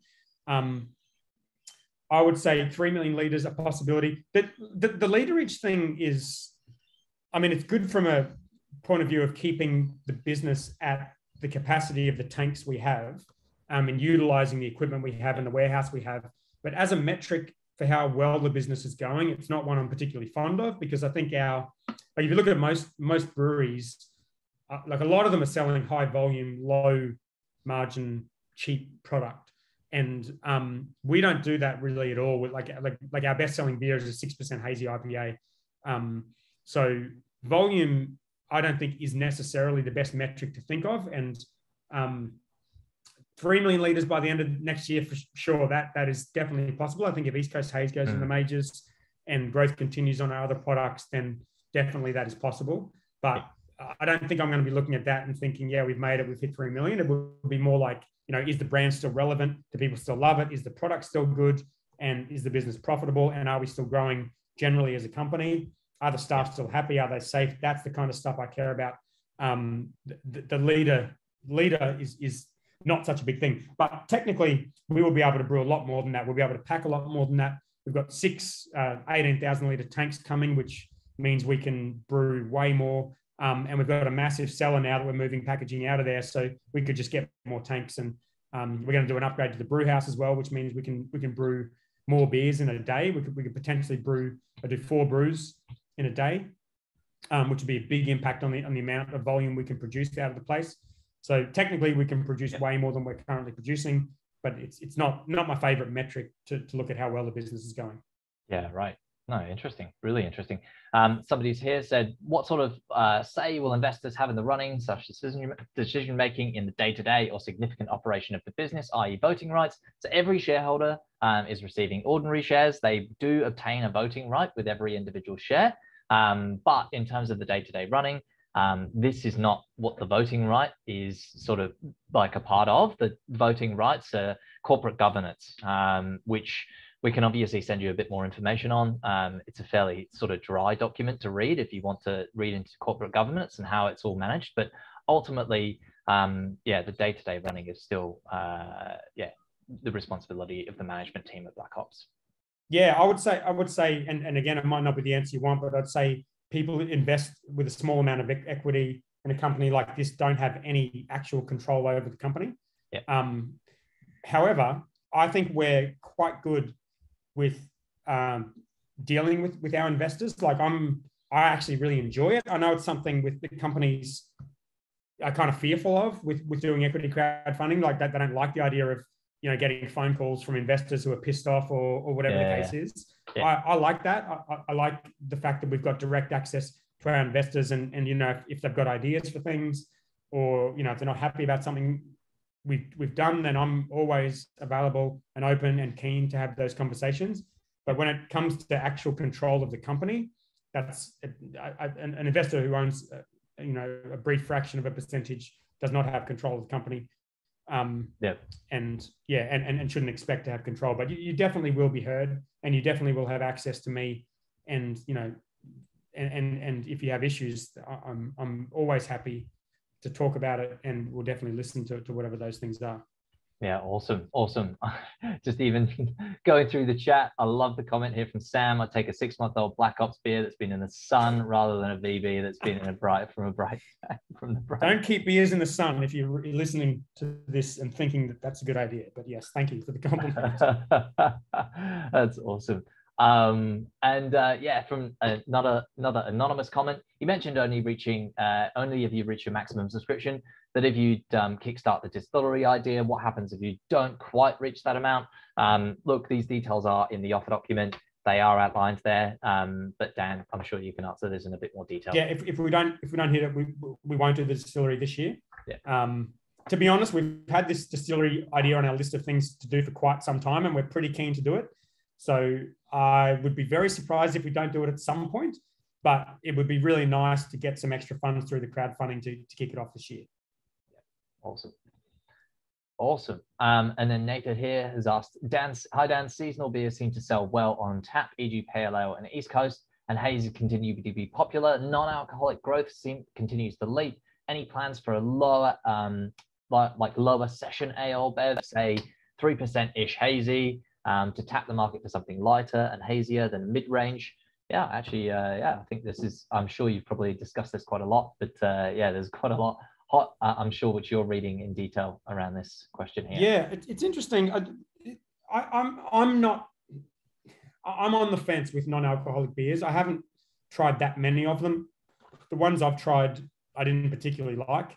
Um, but I can see it's a legitimate trend. Like I think there was three was there two or three um, non-alc beers in the hottest 100, which is pretty incredible. Yeah. Um, I, I, yeah, I, I don't know. I, I don't know about that. We, no, mm. answer your question is no, we do not have plans to do a non-alc beer. I suppose if, if it's a 3% hazy, potentially we could do that. We could yeah. sort of replace mid-range with a with a you know lower ABV hazy, but mid-range actually goes surprisingly well. Um, so we don't really have plans to do that. Um, it's something I will always look at. Like at first, when it came up, was like, oh, this is the most terrible idea ever. And as it, you know, as you go on and these other beers get traction, you think maybe it's not the worst idea, but but we don't have plans to do one. and um, it would require more than what we currently have. Like we would require different equipment, and we make all of our beer ourselves. A lot of these low alc brands don't. Um, they're sort of contract breweries, and that's not something we're particularly keen on. Yeah. I like the fact that we make all of our beer. So uh, no time soon, I would say to that one. Yeah, awesome. Um, and there's another question here. What will be the total amount of shares issued, assuming full subscription for this raise, and how many of these shares are owned by the founders, staff versus public? I can answer this question because I've actually already got it up. So at the 2.2 mil um, max target, that would be just almost 3.3% in equity released in the business um, at a pre-money valuation of six, 65, 65 million. Um, ultimately, the cap table, which is in the offer document, highlights exactly what the shareholdings within the company are, um, what they look like pre and post offer, and at a minimum and maximum subscription offering. Anything else to add on your side, Dan? I just the, the answer around the founders is is we own about fifty percent. Yeah. Um. So the and the and the founders plus the original two investors, I think, are maybe around sixty percent. Um. So, yeah. yeah. Yeah. Awesome. Um, and also, do you expect supply chain constraint and inflation to impact your margin? Possibly, yeah, yeah. I, think we haven't seen a whole lot. Um, inflation is an interesting one. It seems to be a big problem in the US at the moment, and it, it like you do sort of anecdotally see certain things going up. Mm. Um, so yeah, yeah, possibly. It's not, it's not something we're specifically planning for. Supply chain stuff hasn't really been a big problem. There was sort of some talk of there's, there's been small things like this, like pallet shortages, um, which we've been able to manage. There's, there was some talk of problems with cans during COVID, but that didn't seem to eventuate. I mean, if we couldn't get cans, we'd, we'd be in big trouble. Um, but so far, and we, we, do hop contracts as well, like a year out. So we're pretty pretty onto that kind of stuff. Um, but yeah, it's it's a possibility for sure. Yeah, yeah, awesome, awesome. Um, and Craig says, thanks for the presentation so far. Um, I envisage that this will be included in docs tomorrow, but wondering if the company owns any real estate it works from, or is this all leased? It's all leased, and I, and I actually haven't mentioned that in, in in the actual offer documents. That's probably a good point. I probably could have mentioned that. We've got um, we've got a really really good landlord at BH2, which is our main production brewery. Um, Bill Barry Cotter, who's who's the founder of Riviera and Maritimo, and the sheds there were built for Riviera back in the 80s, and it was where they started and they they love us, which is great. and we've taken over the entire site there, um, and so we're extremely happy with that arrangement. I don't, I don't, I couldn't see us looking into buying anything until maybe we outgrow that site, which is it's a long way into the future, I think. Yeah, right and Wade has asked possibly my favorite question. So, in terms of distribution, how broad across the country does Black Hops supply? Are there any plans to go broader, test new markets, or will Black Hops be focusing on the current distribution region and building on the success? Yeah, well, we do, we do supply to all of Australia. We have distributors in Tasmania and WA. We've got Growler Depot over in WA and a, and a, a rep over there, Sam, who who helps us out. We've got um, Polkadot in Tasmania, who do a really good job with our product and a, and a bunch of other products. Um, we've got Paramount in the other states. They do a good job as well, but they have a, have a big, big uh, sort of list of products they sell. We also have shared rep through Paramount in New South Wales and Vic um, that gets out and, and showcases our, our product along with, I think, five other breweries um, or five other products. um, and also Dan Murphy's and BWS. So, so we're national through through those, and we're looking to get more limes out through them and through Coles as well. We're always on those range reviews trying to get more products out through that. It would be good to have some direct distribution and direct sales in those territories, but it's very expensive and it's not something we're really going to look at unless we kind of get in back into a really comfortable position in terms of our staff wages and we can really confidently put some more staff on in those areas. Um, so our, our strategy has always been sell as much as we can locally, and um, you know where we can sell interstate, then do it in a way that's not too risky, and that probably won't change. But if if, if our growth kind of dries up locally, we, we might look at expanding more interstate, and we're always looking to get more products in through those ex- existing distributors. Great. Fantastic. Another question uh, here. Is there a plan to expand the taproom seating capacity?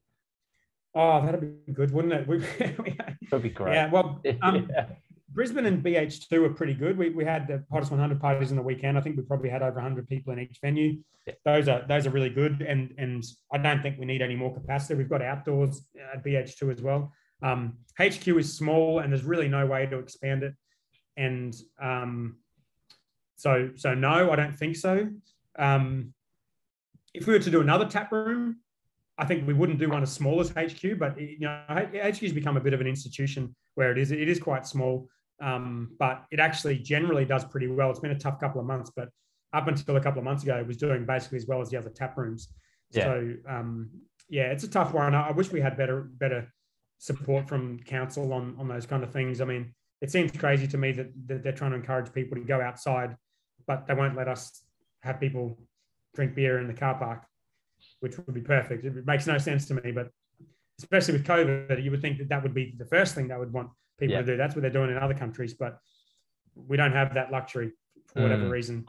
Um, so yeah, no specific plans of that. It would be nice, but if we do another one, I think we'd we'd make sure we yeah we'd make sure we build one as big as BH2 yep. or, or, Brisbane. Yeah.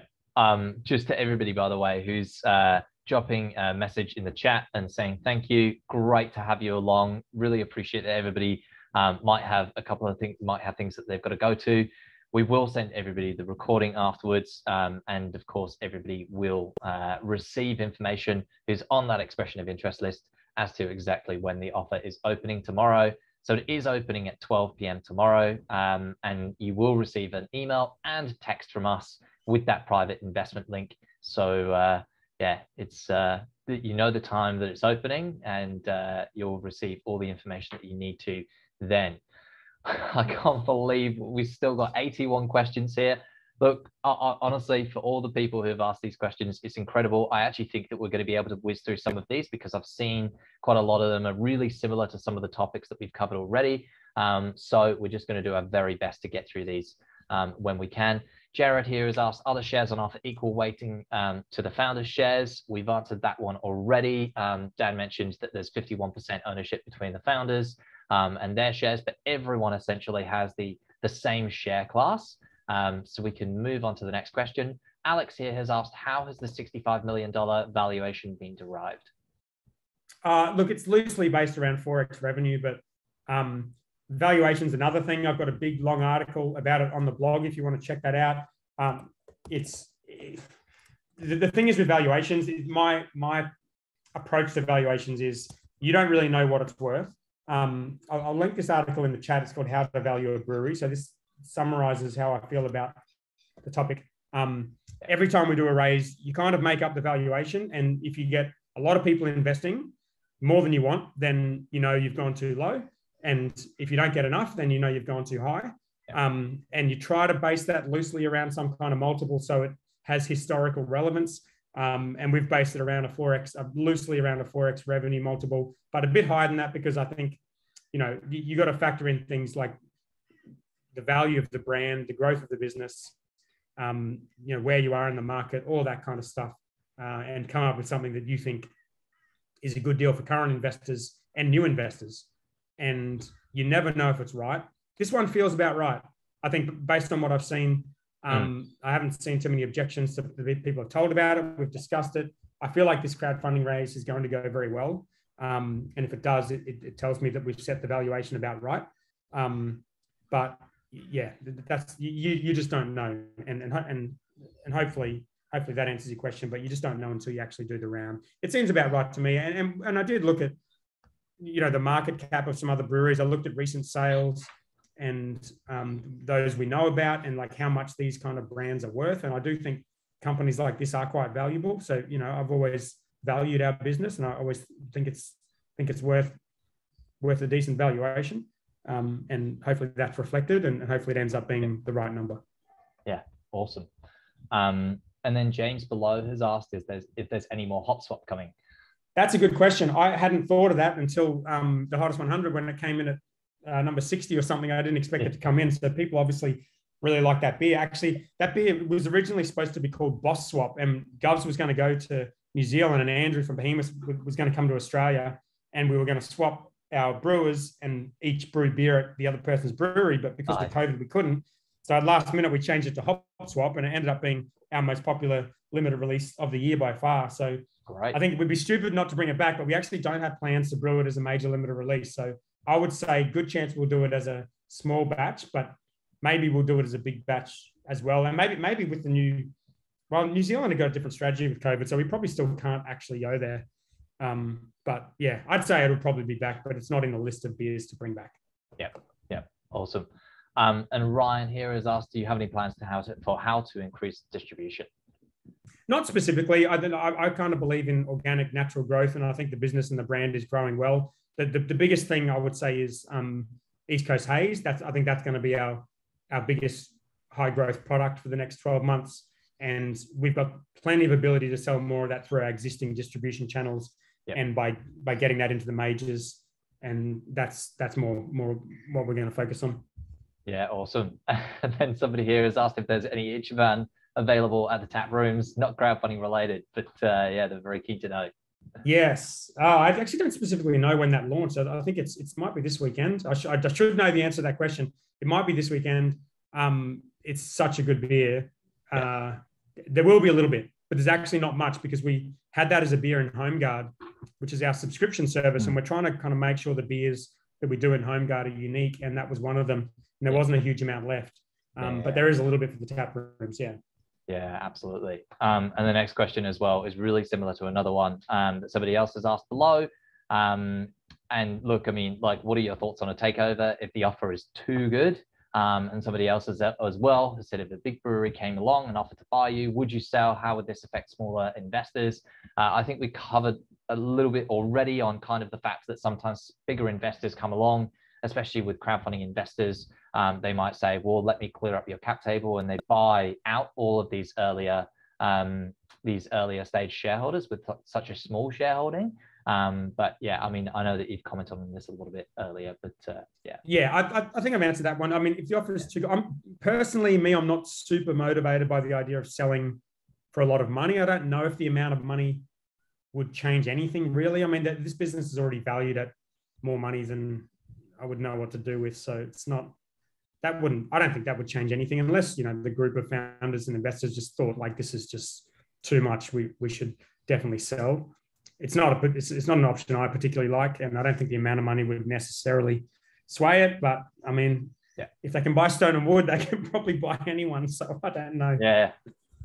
Yeah, absolutely, absolutely. Um, and John Brown has here has said, how do you see advertising nationwide um, and getting more range of your beers into stores around the country? We've talked about distribution a lot. Being in Sydney, I find there is quite a limited range.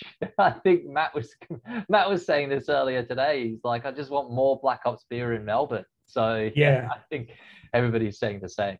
Yeah, advertising actually is something we barely do at all. We we we we, we do well under one percent of our revenue on advertising compared to about twelve percent for the average business. I don't. I'm not a particularly fan of it. I, I like the fact that, that we can build our audience and our growth through things like this and through our organic content.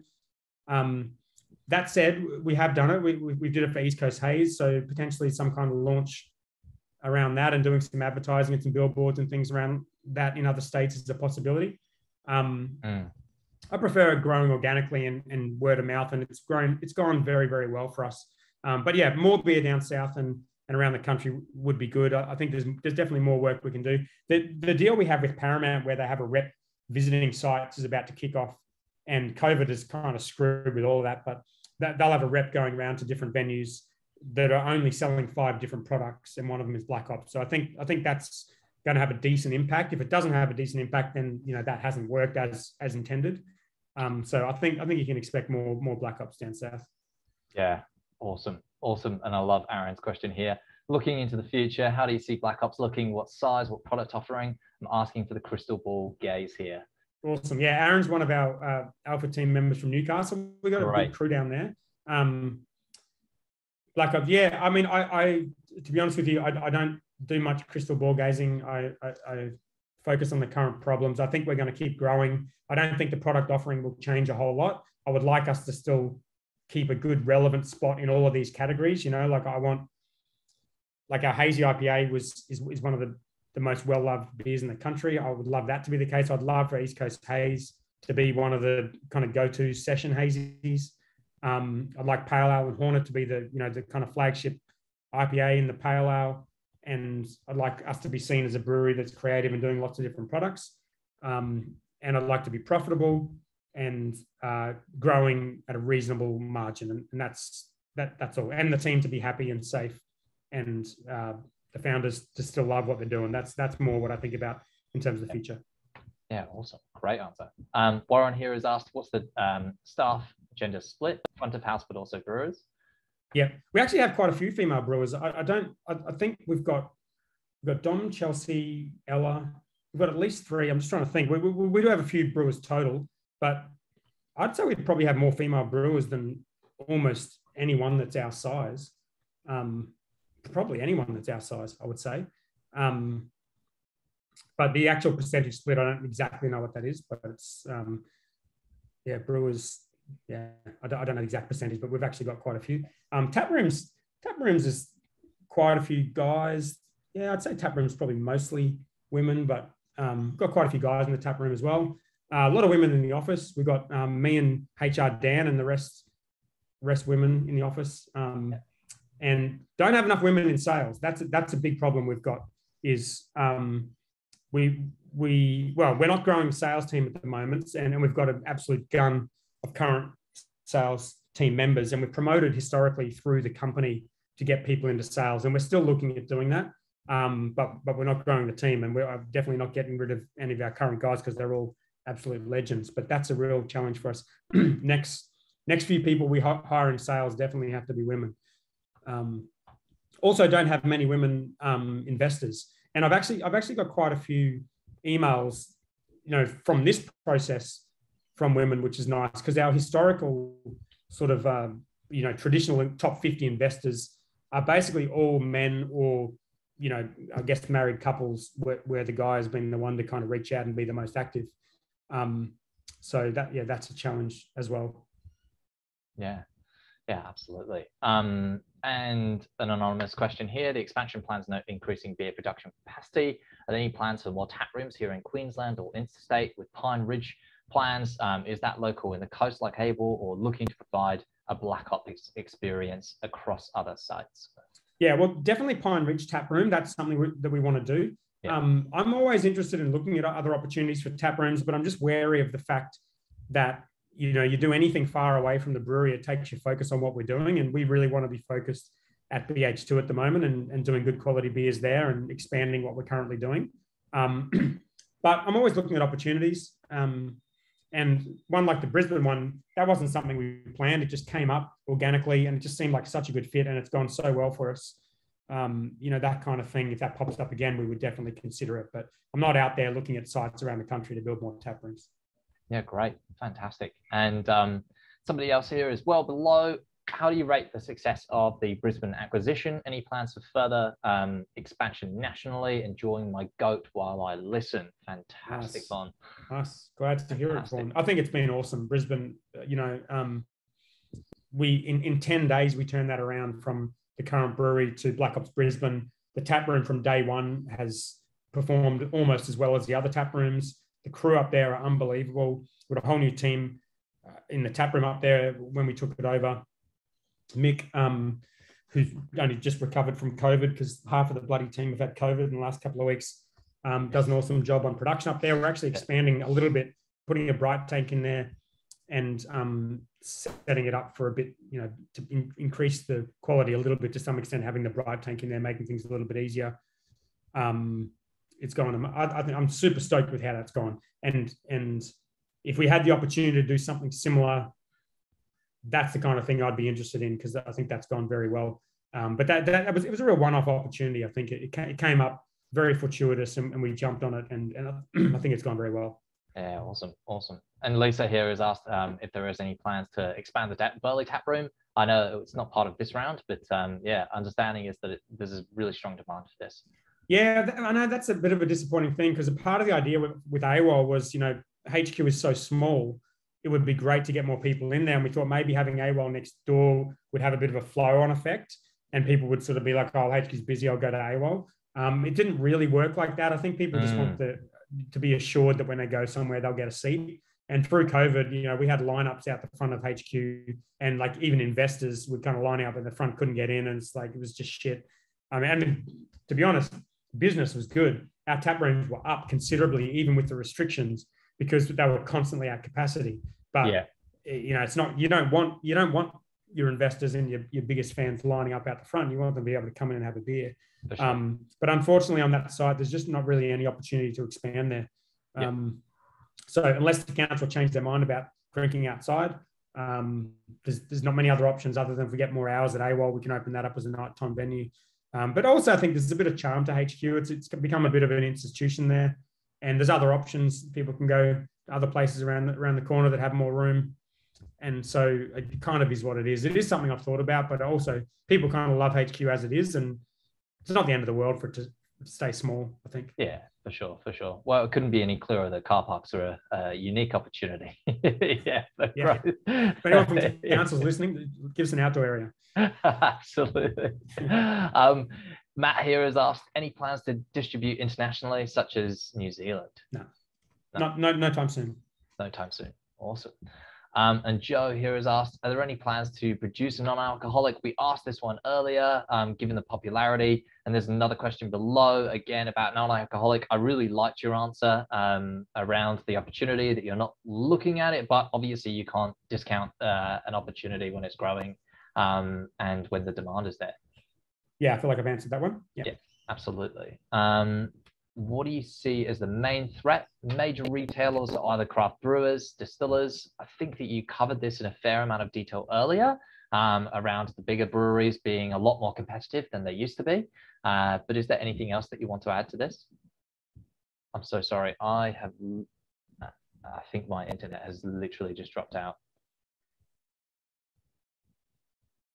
Uh, apologies if I've just lost. I've just lost your audio. Yeah, I can hear you now. Um, I can hear you now. Can you hear me okay? Can you hear me right? I've just. I can't hear you very well. Yeah, hang on a minute. I can hear you just fine. And I, I just got a message from everybody else that they can hear. Dan is frozen. Yeah, can hear you bit. It, just, it both. did just say my connection is unstable. I think we're coming back. I think we're coming back. Apologies, everybody. Um, oh no. Oh dear. I think so. Yeah. All right. I see a reset. yeah. I think I'm seeing yeah, East Coast. I think it was the haze. Uh, Clearly out in the sun with a VB. Peter, I love it. Yeah, he's probably using the time to go to the fridge, that's for sure. All right. Um, Am I back? all right, perfect. You're back. You're back. Uh, I think I, I live in where I live. I don't think it has enough internet to cater for everyone getting home at six o'clock. yeah, it's how I felt when I moved over here. Um, so I can hear you perfectly now. Are you all good to go? Yes, I, hopefully this works better. Um, but yes, so, so the so the the major threat, I, yeah, I think Yeah. I, I don't know if major retailers are a major threat. I'd say the major brewery owners owning all of the good brands and and consumers um, no longer seemingly caring is is a pretty big threat. So and and extra competition from other brewers and distillers is a big threat as well. I'd say. Yeah, yeah, awesome. Um, and somebody has asked a part of the question you've already answered, but do you see zero and seltzers being a part of your lineup going forward in response to changing drinking demand? Yeah, not really. Like we experimented with a seltzer um, just for a bit of fun. Uh, I think I've I've got fro- frozen down again. Oh no. I'm I can hear you again now, Dan. If you want to restart no. and try answering once more. I'll try, but it's going to be a bit of a shit experience for people if they can't um, hear me properly. Amanda just said she can hear us both, so Yeah. I'm hoping that everybody can hear us, and um, it's just happening to me. Yeah. okay. All right. Um, yeah. No. I th- no doubt that they're popular. I don't really think they're right for our brand. So I, I, for now, I'd say no to low alcohol seltzers. Yeah, yeah, absolutely. Um, somebody here as, as well has asked the question: Is it possible the big company buys Black Hops, hence the share price upside? Um, we've asked answered I've so many questions on exits, um, so I think we'll move on.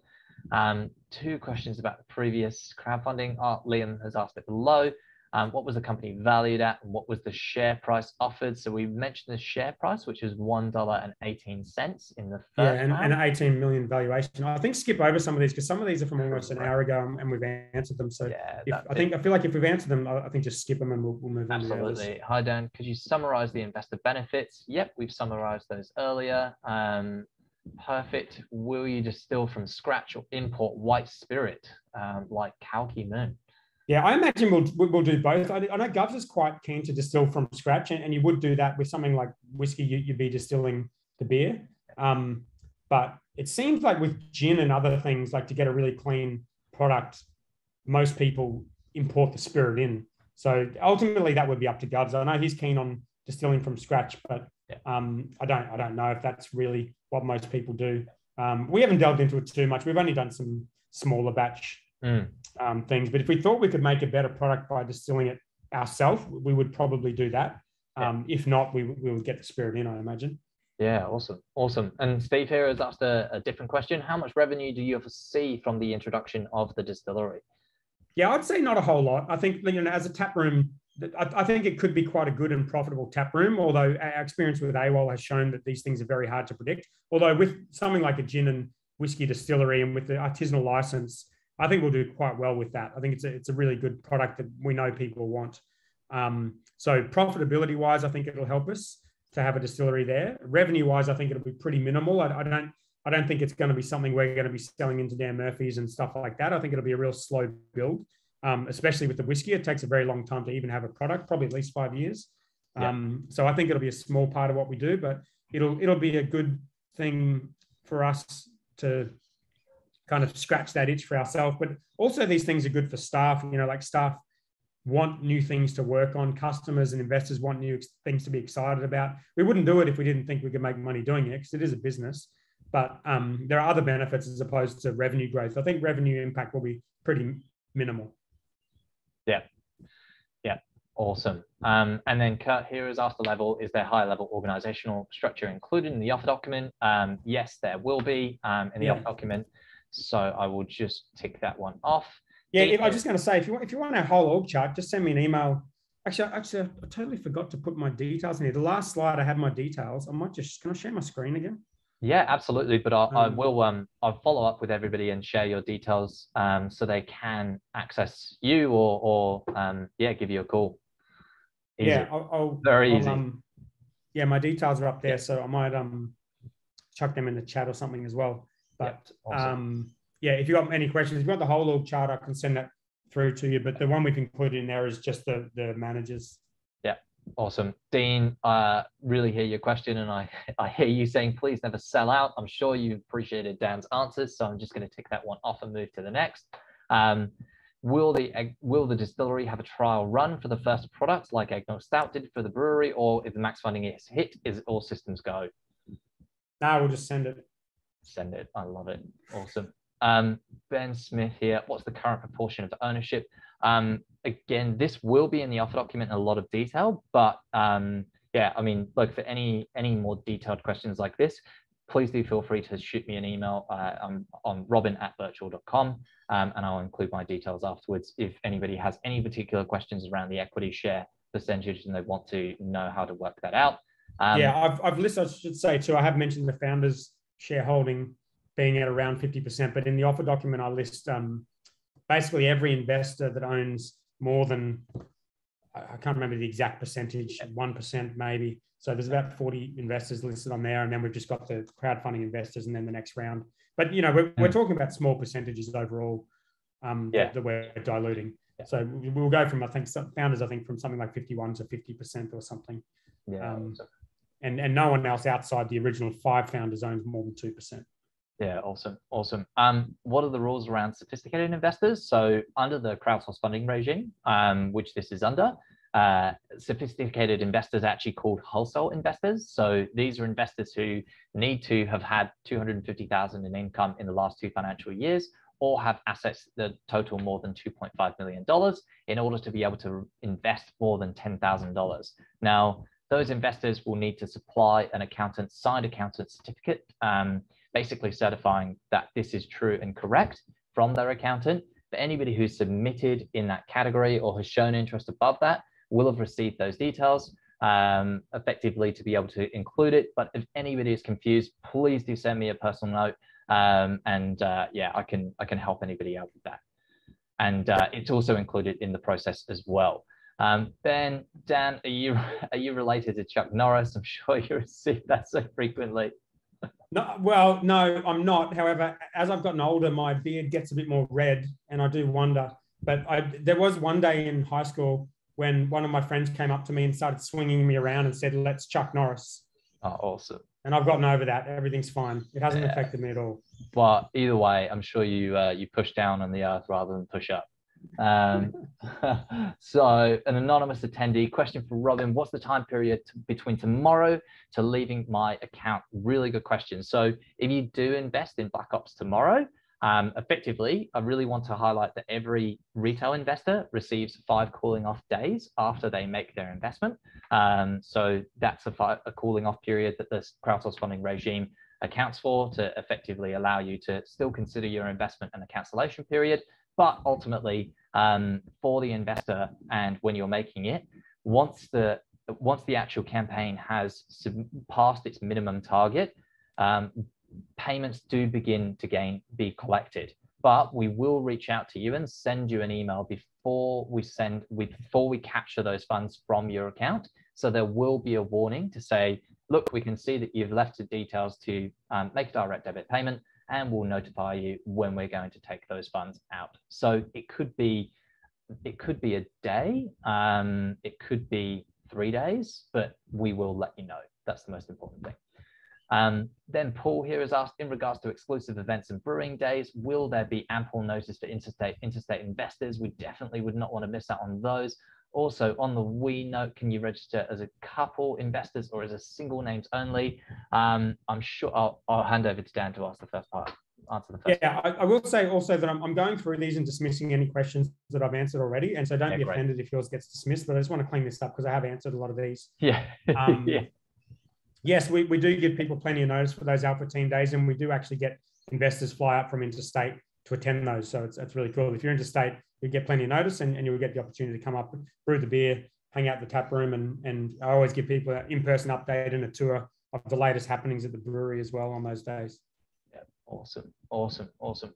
Um, and then, yeah, in, in relation to investing as an individual or a couple, um, unfortunately, it is just restricted to single names only or a company. Um, then Craig here, what sort of reports and information on progress do investors get? Um, Dan, I know you can answer this in a bit more detail around what you do, but there is an annual report that is uh, sent out to every single investor, um, basically summarizing the financial year and also summarizing other key information that um, investors will receive on the company and its progress. Yeah, I do quarterly reports. So we do a, a report the reports on a whole bunch of different aspects of the business.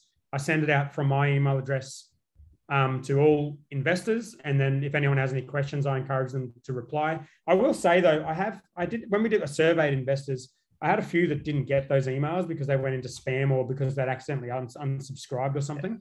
Um, so if you do sign up and invest and you don't hear from me, it's not, it's probably not because I didn't send an update. It might be because it's gone into spam or something. But um, yes, I do do the quarterly reports. If anyone wants to see one, just send me an email and I'll send you guys an example of what those look like because they're not something we're required to do by legislation. They're just something that I like to do. And they've got a unique format through them. Um, and I can send you the one, the most recent one we did at the end of 2021 if you guys want to see it. So you can just send me an email and I can send that to you. Yeah, awesome.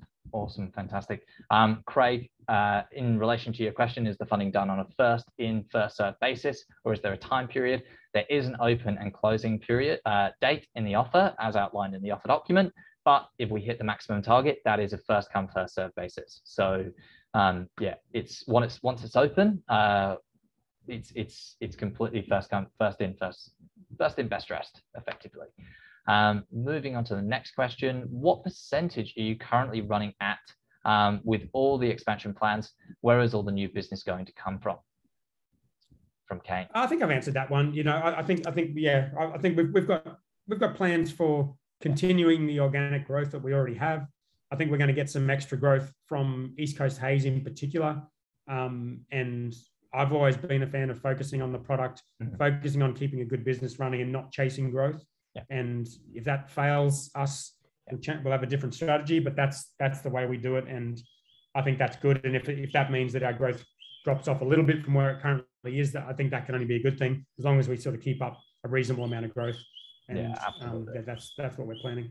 Absolutely. And then an anonymous question: What will the three original owners' percentage ownership drop to if the round is ma- if the max round uh, max amount is achieved?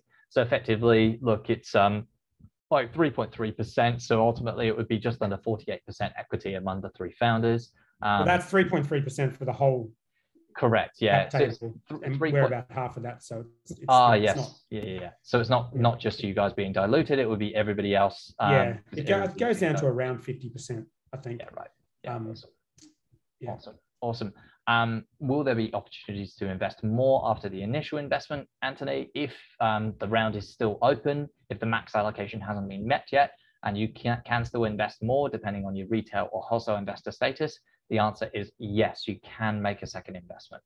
Um, That's until the maximum is hit. Is that, is that correct? Correct. Yeah. Yeah. yeah. Um, and if the question was more, are we going to do another round?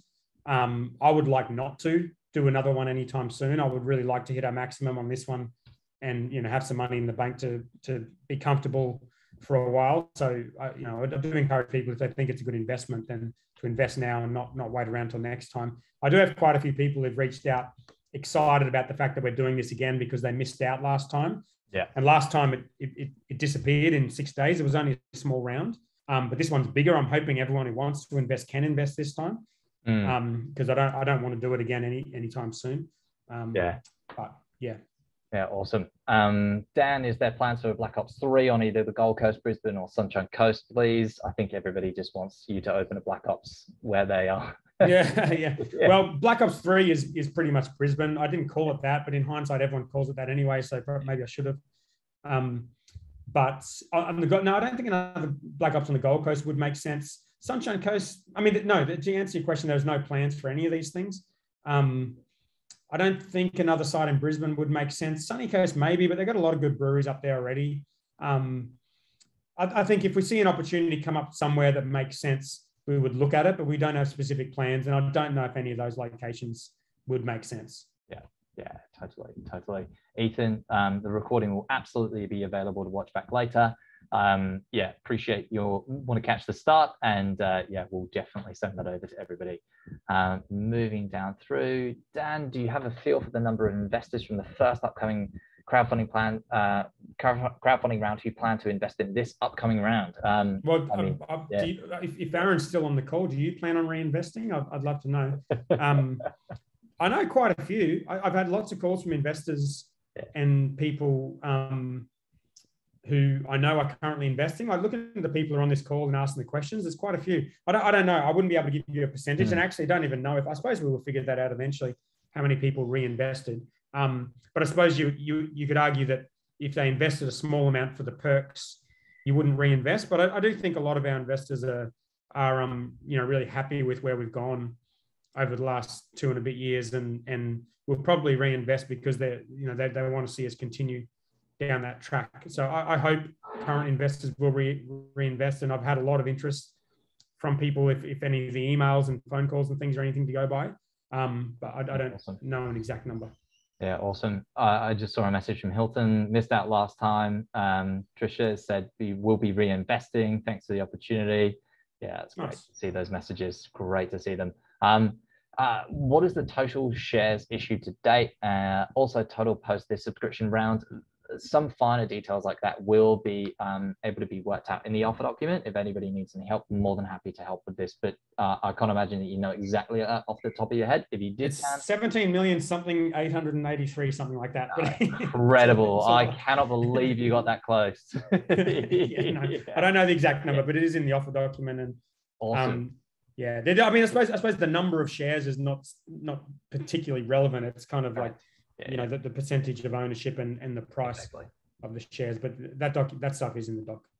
Exactly, exactly. Um, Stefan, any limits to how much we can invest per person? As I've explained for the wholesale investor requirements, um, these are individuals who want to invest more than 10K. That does mean that anybody who doesn't fit within that um, essentially category is limited to investing just $10,000 per person. Um, so yeah, I'll uh, yeah. Any any other questions around that? Please feel free to message me personally. Um, Michael, I want to know how many beers Danny drinks a week. Love that. Well, I, I, like that you call me Danny. I haven't been called Danny since primary school, and back then I was drinking a lot of beers per week. Nah, I just kidding. Um, uh, yeah, it depends. I mean, if I have, have, calls like this, I normally have a beer on them. Um, we do a bit of sensory at work, so it's kind of hard to avoid drinking but you know, I'm I'm, I'm pretty skinny, so um, I can't drink can't drink too much. Otherwise, I, wouldn't look like this. awesome, awesome. Um, Brendan here has asked, I love the idea of a decent Queensland produced uh, whiskey. I'm not a rum drinker. Would love, um, would you have enough warehouse space to age the whiskey in barrels appropriately, or would you need to expand further? Yeah, we've got an absolute shitload of warehouse space. Actually, we had a, we've got a really fun idea with the whiskey that we're probably not going to do because it's a little bit crazy even for us. But we wanted to build a cave and put the whiskey barrels in containers under the driveway. Um, I think for the amount of money we get through this crowdfunding, we're probably not going to have enough to be able to do that. But if we can somehow do that and do it safely, that would be super cool.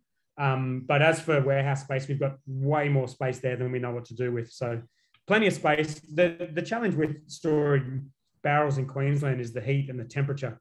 So we would have to think about that and, and whether or not we wanted to build some sort of a kind of a, you know, a, a sort of a um, insulated room or something to help with that. But um, the actual site where the distillery is, there's not a whole lot of storage in that sort of tap room area, but the entire BH2 site, we have more space than we know what to do with. So we've got plenty of room there. Yeah, awesome. Awesome. Um, somebody else here, Brendan, I love the idea. Oh, yeah, we've already answered that one. Peter here has said, why don't we see um, Black Hops more often on tap around the Gold Coast in Queensland? Is it a planned or is it a challenge? Um, I know you talked a lot about distribution earlier, um, but yeah, they said Stone and Wood is everywhere and I have to pick it by default quite often. Yeah, it's a tricky one. I mean, Stone and Wood, you know, for the whole time we've been in business, have been at least 10 times the size of us and they've been able to produce beer way cheaper than we do. Um, their our beer is not as cheap as theirs. Um, but that, that's I, I, wouldn't say that's the whole story. Um, you know, there's a lot of other breweries that sell beer very cheap. We're not one of them, so so you would find some of those breweries on tap a little bit more so than us, even though they're, they're not necessarily much bigger than us. Um, but also, I think you know a lot of these venues don't have room for 50 different craft beer taps. Stone and Wood managed; they just absolutely smashed it with Pacific Ale, and that you kind of went from a lot of these venues that weren't really craft venues having Stone and Wood on tap, and uh, instead of Coopers or as well as Coopers, and that became the default beer. And it's it's it's not not easy if you, if you go into a venue that's got Stone and Wood and Balter XPA on tap. Pretty, it's pretty hard to get into that venue unless you, you're going in with something different like a hazy IPA or an IPA in which case they don't move anywhere near as well and they cost the venue more money. So yeah, it is it is super tough. Um, but I would say our on-prem team have done a really good job. I think we are on lots of in lots of the right venues. Um, I would love to be in in more venues, but also don't really want to compromise on the quality of the product and the cost of the product to the point where we're no longer making money. So we're always trying to strike that balance. But that mm. I, I, think hopefully that answers your question. I'd love to be tap at every venue, but we can't we can't sell two hundred dollar kegs and um, there's not a lot of room in these venues for multiple taps. Actually, another question in there that I saw somewhere was whether or not the, the selling of those businesses to the majors has helped us at all. And there is mm. some possibility for that where some of these venues has Stone and Wood as their independent tap.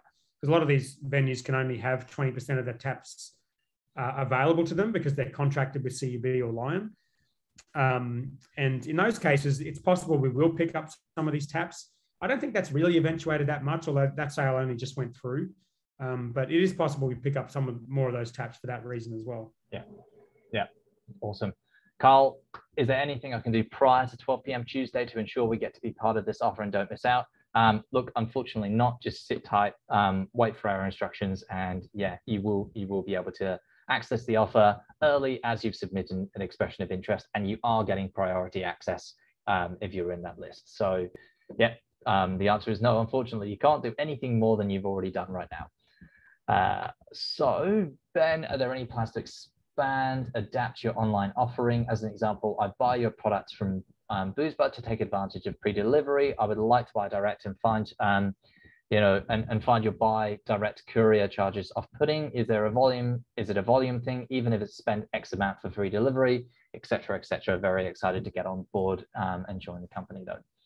Yeah, it's a good question. I, I think um, like we could offer free delivery too, but but the reality is the delivery is not free. So um, yeah, you, you kind of you, you kind of absorbing that and losing all of the benefit of actually selling a product, or you're just charging what the delivery is, and as a result, people buy elsewhere. And the reality is, it is cheaper to walk down to your local BWS and buy Black Hops than it is to buy it from our website. And um, I, there are things that we want to do to expand our online options. But you know, if you look at that growth from seventeen thousand to two hundred and seventy-five thousand dollars annually for our online part of the business, that's pretty staggering growth. And, and we've got a really good contingent of people who'd like to buy direct, especially with HomeGuard. We've got 380 people now signed up to HomeGuard. When we do the next intake in February, um, I'm hoping we can get to uh, get another 250 people in. And we do mm. try to incentivize people to come in. Um, and look at different ways to excite people. Like the comment there before about Ichiban, it's a beer that it's going to be di- difficult to get unless you're signed up to Home Guard. So there's way and and the beer we sell in Home Guard, even the core range beer, is under a week old. So there's no no way you're getting beer from BoozeBud or any of our distributors under a week old. So yeah. we are focused on the people who really want a direct relationship with the brewery and are happy to pay what it costs to get that. And the reality is the cost of delivery is not free. Um, Sometimes we do do things like free delivery with a carton purchased, but you know, if the delivery costs 10 or 15 bucks, that's kind of all of our profit gone. And yeah. unless you're kind of in growth mode where you don't care if you're making money, there's, there's a limit to how much you want to discount these things. And it's the same thing as the keg situation. We, we could get on more venues if we discounted the shit out of the beer, but mm. um, we wouldn't be a profitable business to do that. So it is always a balance. And, and I do hear you that, that you don't want to be paying delivery on cartons, and it's something that, that has come up before. Um, and it is something we will do occasionally with free delivery on on boxes. We did that in December um, for for East Coast. Yeah, but that's that's how it works. It's awesome.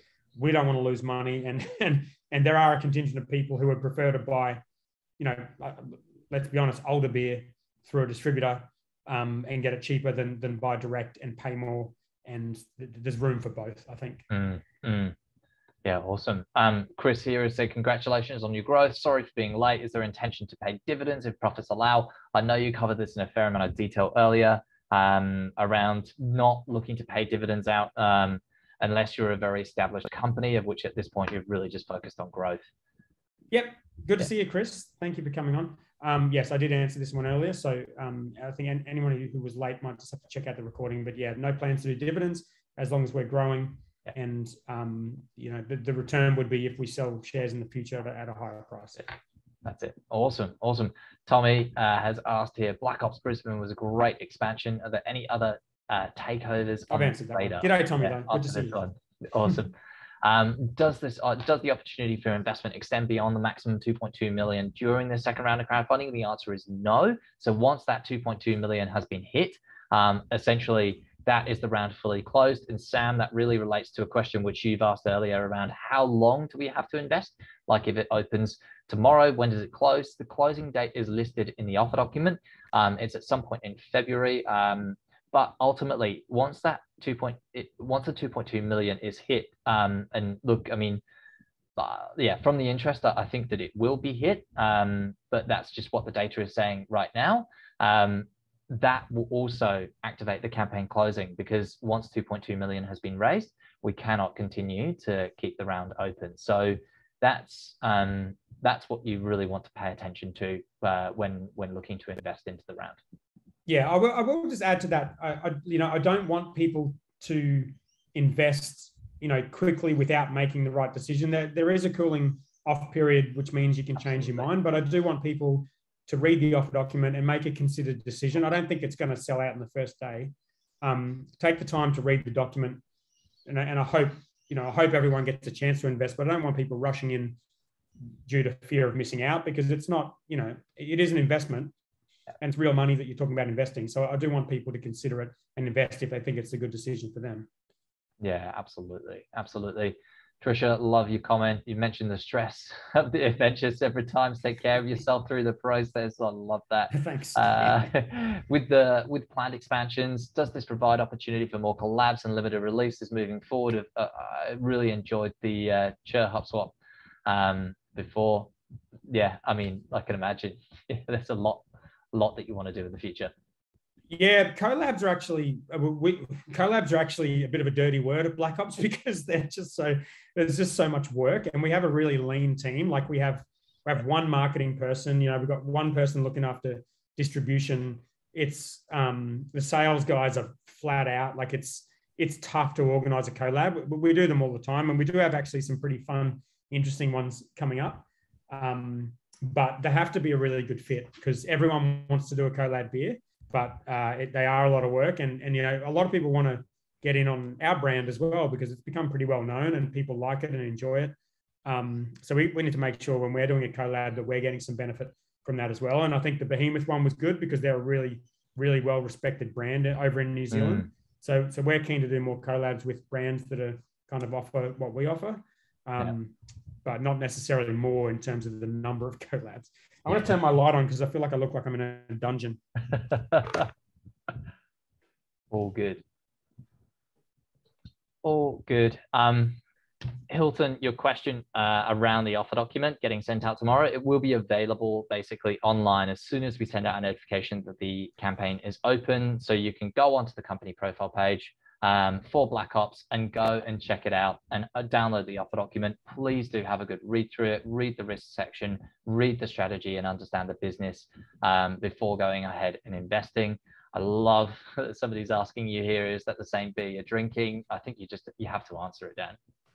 I do. No, it's not. I bought two, and I've got oh. a Yeti, which awesome. is a. Uh, have you seen these? These are really cool. They're like an insulated cooler. Nice. So I knew this meeting was going to go forever, and I didn't want to run out of beer, so I got I bought two, and this one's just finished. So I've timed it pretty well, I think. I'm so poorly prepared. I'm so poorly prepared. I didn't even have a Black Hops beer. Um, so next time I'll know. I'll know. Um, any chance of the dark brew becoming more regular than limited release? Well, eggnog we brew all year round. It's always available at the tap rooms. Um, we're also probably going to do a black a black uh, blackout tap blackout at the tap rooms yeah. this year again, where we where we do sort of like ten different dark beers. Mm. Um, we will try to sell some of those online, but in terms of in the core range, no, there's just they just don't sell, and we've got a big enough core range already. Um, we did do we did uh, Blackhawk Stout and Mega Hornet as a mixed limited release, which went pretty well in 2020.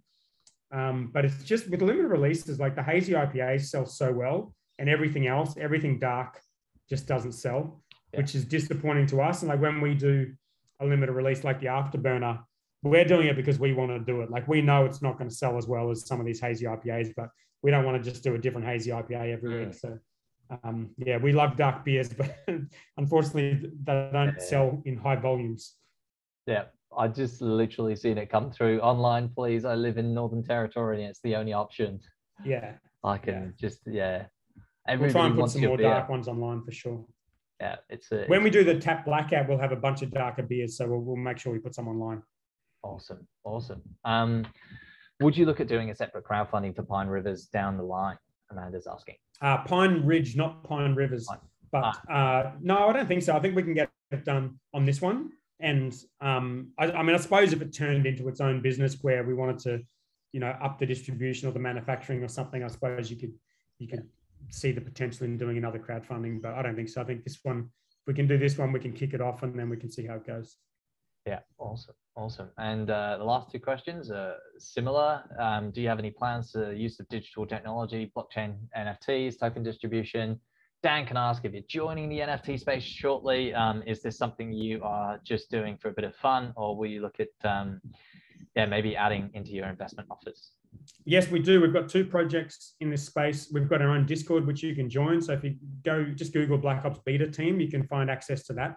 Um, the one thing we're working on at the moment is a, a, a Hopman kind of profile picture NFT project, which uses our Hopman character from the Moon Dancer beer that we did, and everyone gets like a unique little Hopman. Um, to answer your question, is it just a bit of fun? Yeah, pretty much. I think I, I don't I don't know if it's going to turn into a really significant thing. Although the community on Discord is pretty good. We've got about maybe 350, 400 people in there. It's pretty reasonably active. It's starting to get going. Um, everyone's pretty keen on what we're doing there. I like it for a bunch of different reasons. Um, so yeah, I want to do more with that. And if you want to contribute to that, you don't have to invest. You can just Google the Black Hops Beta team um, and just join that Discord and join in that conversation. It's pretty new, and I'm, I'm open to all ideas in there. Cool, that's great. Oh, I can't believe it. Everyone, we got through 126 questions. 127, oh, nice. thank you, sorry. Thank you everyone yeah. for staying on here. There's still 100 people on this call, so I, that's, that's, really cool. Yeah, I, I absolutely love that we've been able to just, yeah, spend this time. Um, Discord address, yeah, you've just added I've just put it in the thread there. So blackhops.com.au forward slash Peter. Yeah. Um, look, as I said at the beginning, I think uh, the fact that we've been able to work together and kind of work on, yeah, the Black Hops equity crowdfunding round two uh, it has been an awesome you know journey to to really see you just on this growth because obviously since the last round you've done so much as a business and i absolutely love your motto of really just under promising and, and really just going getting down to work and, and really just focusing on the business and its immediate problems and, and applying immediate solutions to it because it's worked for you. And uh, yeah clearly you've just got such an interesting path ahead. But uh, yeah, thanks everybody for for tuning in and staying so much longer than we'd originally planned for. So uh, yeah, next time I'll chill a beer and, and, make sure that it's ready to go. Clearly underprepared, but uh, I, I planned ahead. I, I, knew I knew this was going to happen. I know you did. Yeah. So, all right. Thank you, awesome. everyone. And um, yeah, if you do decide to invest, then I'm super keen for that, and I'm available to you if you have any questions. Yeah. And um, yeah, I appreciate all the really good questions. It was great. Yeah, it was it was great. Everyone, have a great time, and uh, yeah, absolutely feel free to reach out to us uh, if you have any further questions. So yeah, it was uh, yeah really enjoyable, and take care, everyone. See ya. Cheers. Thank you. Bye.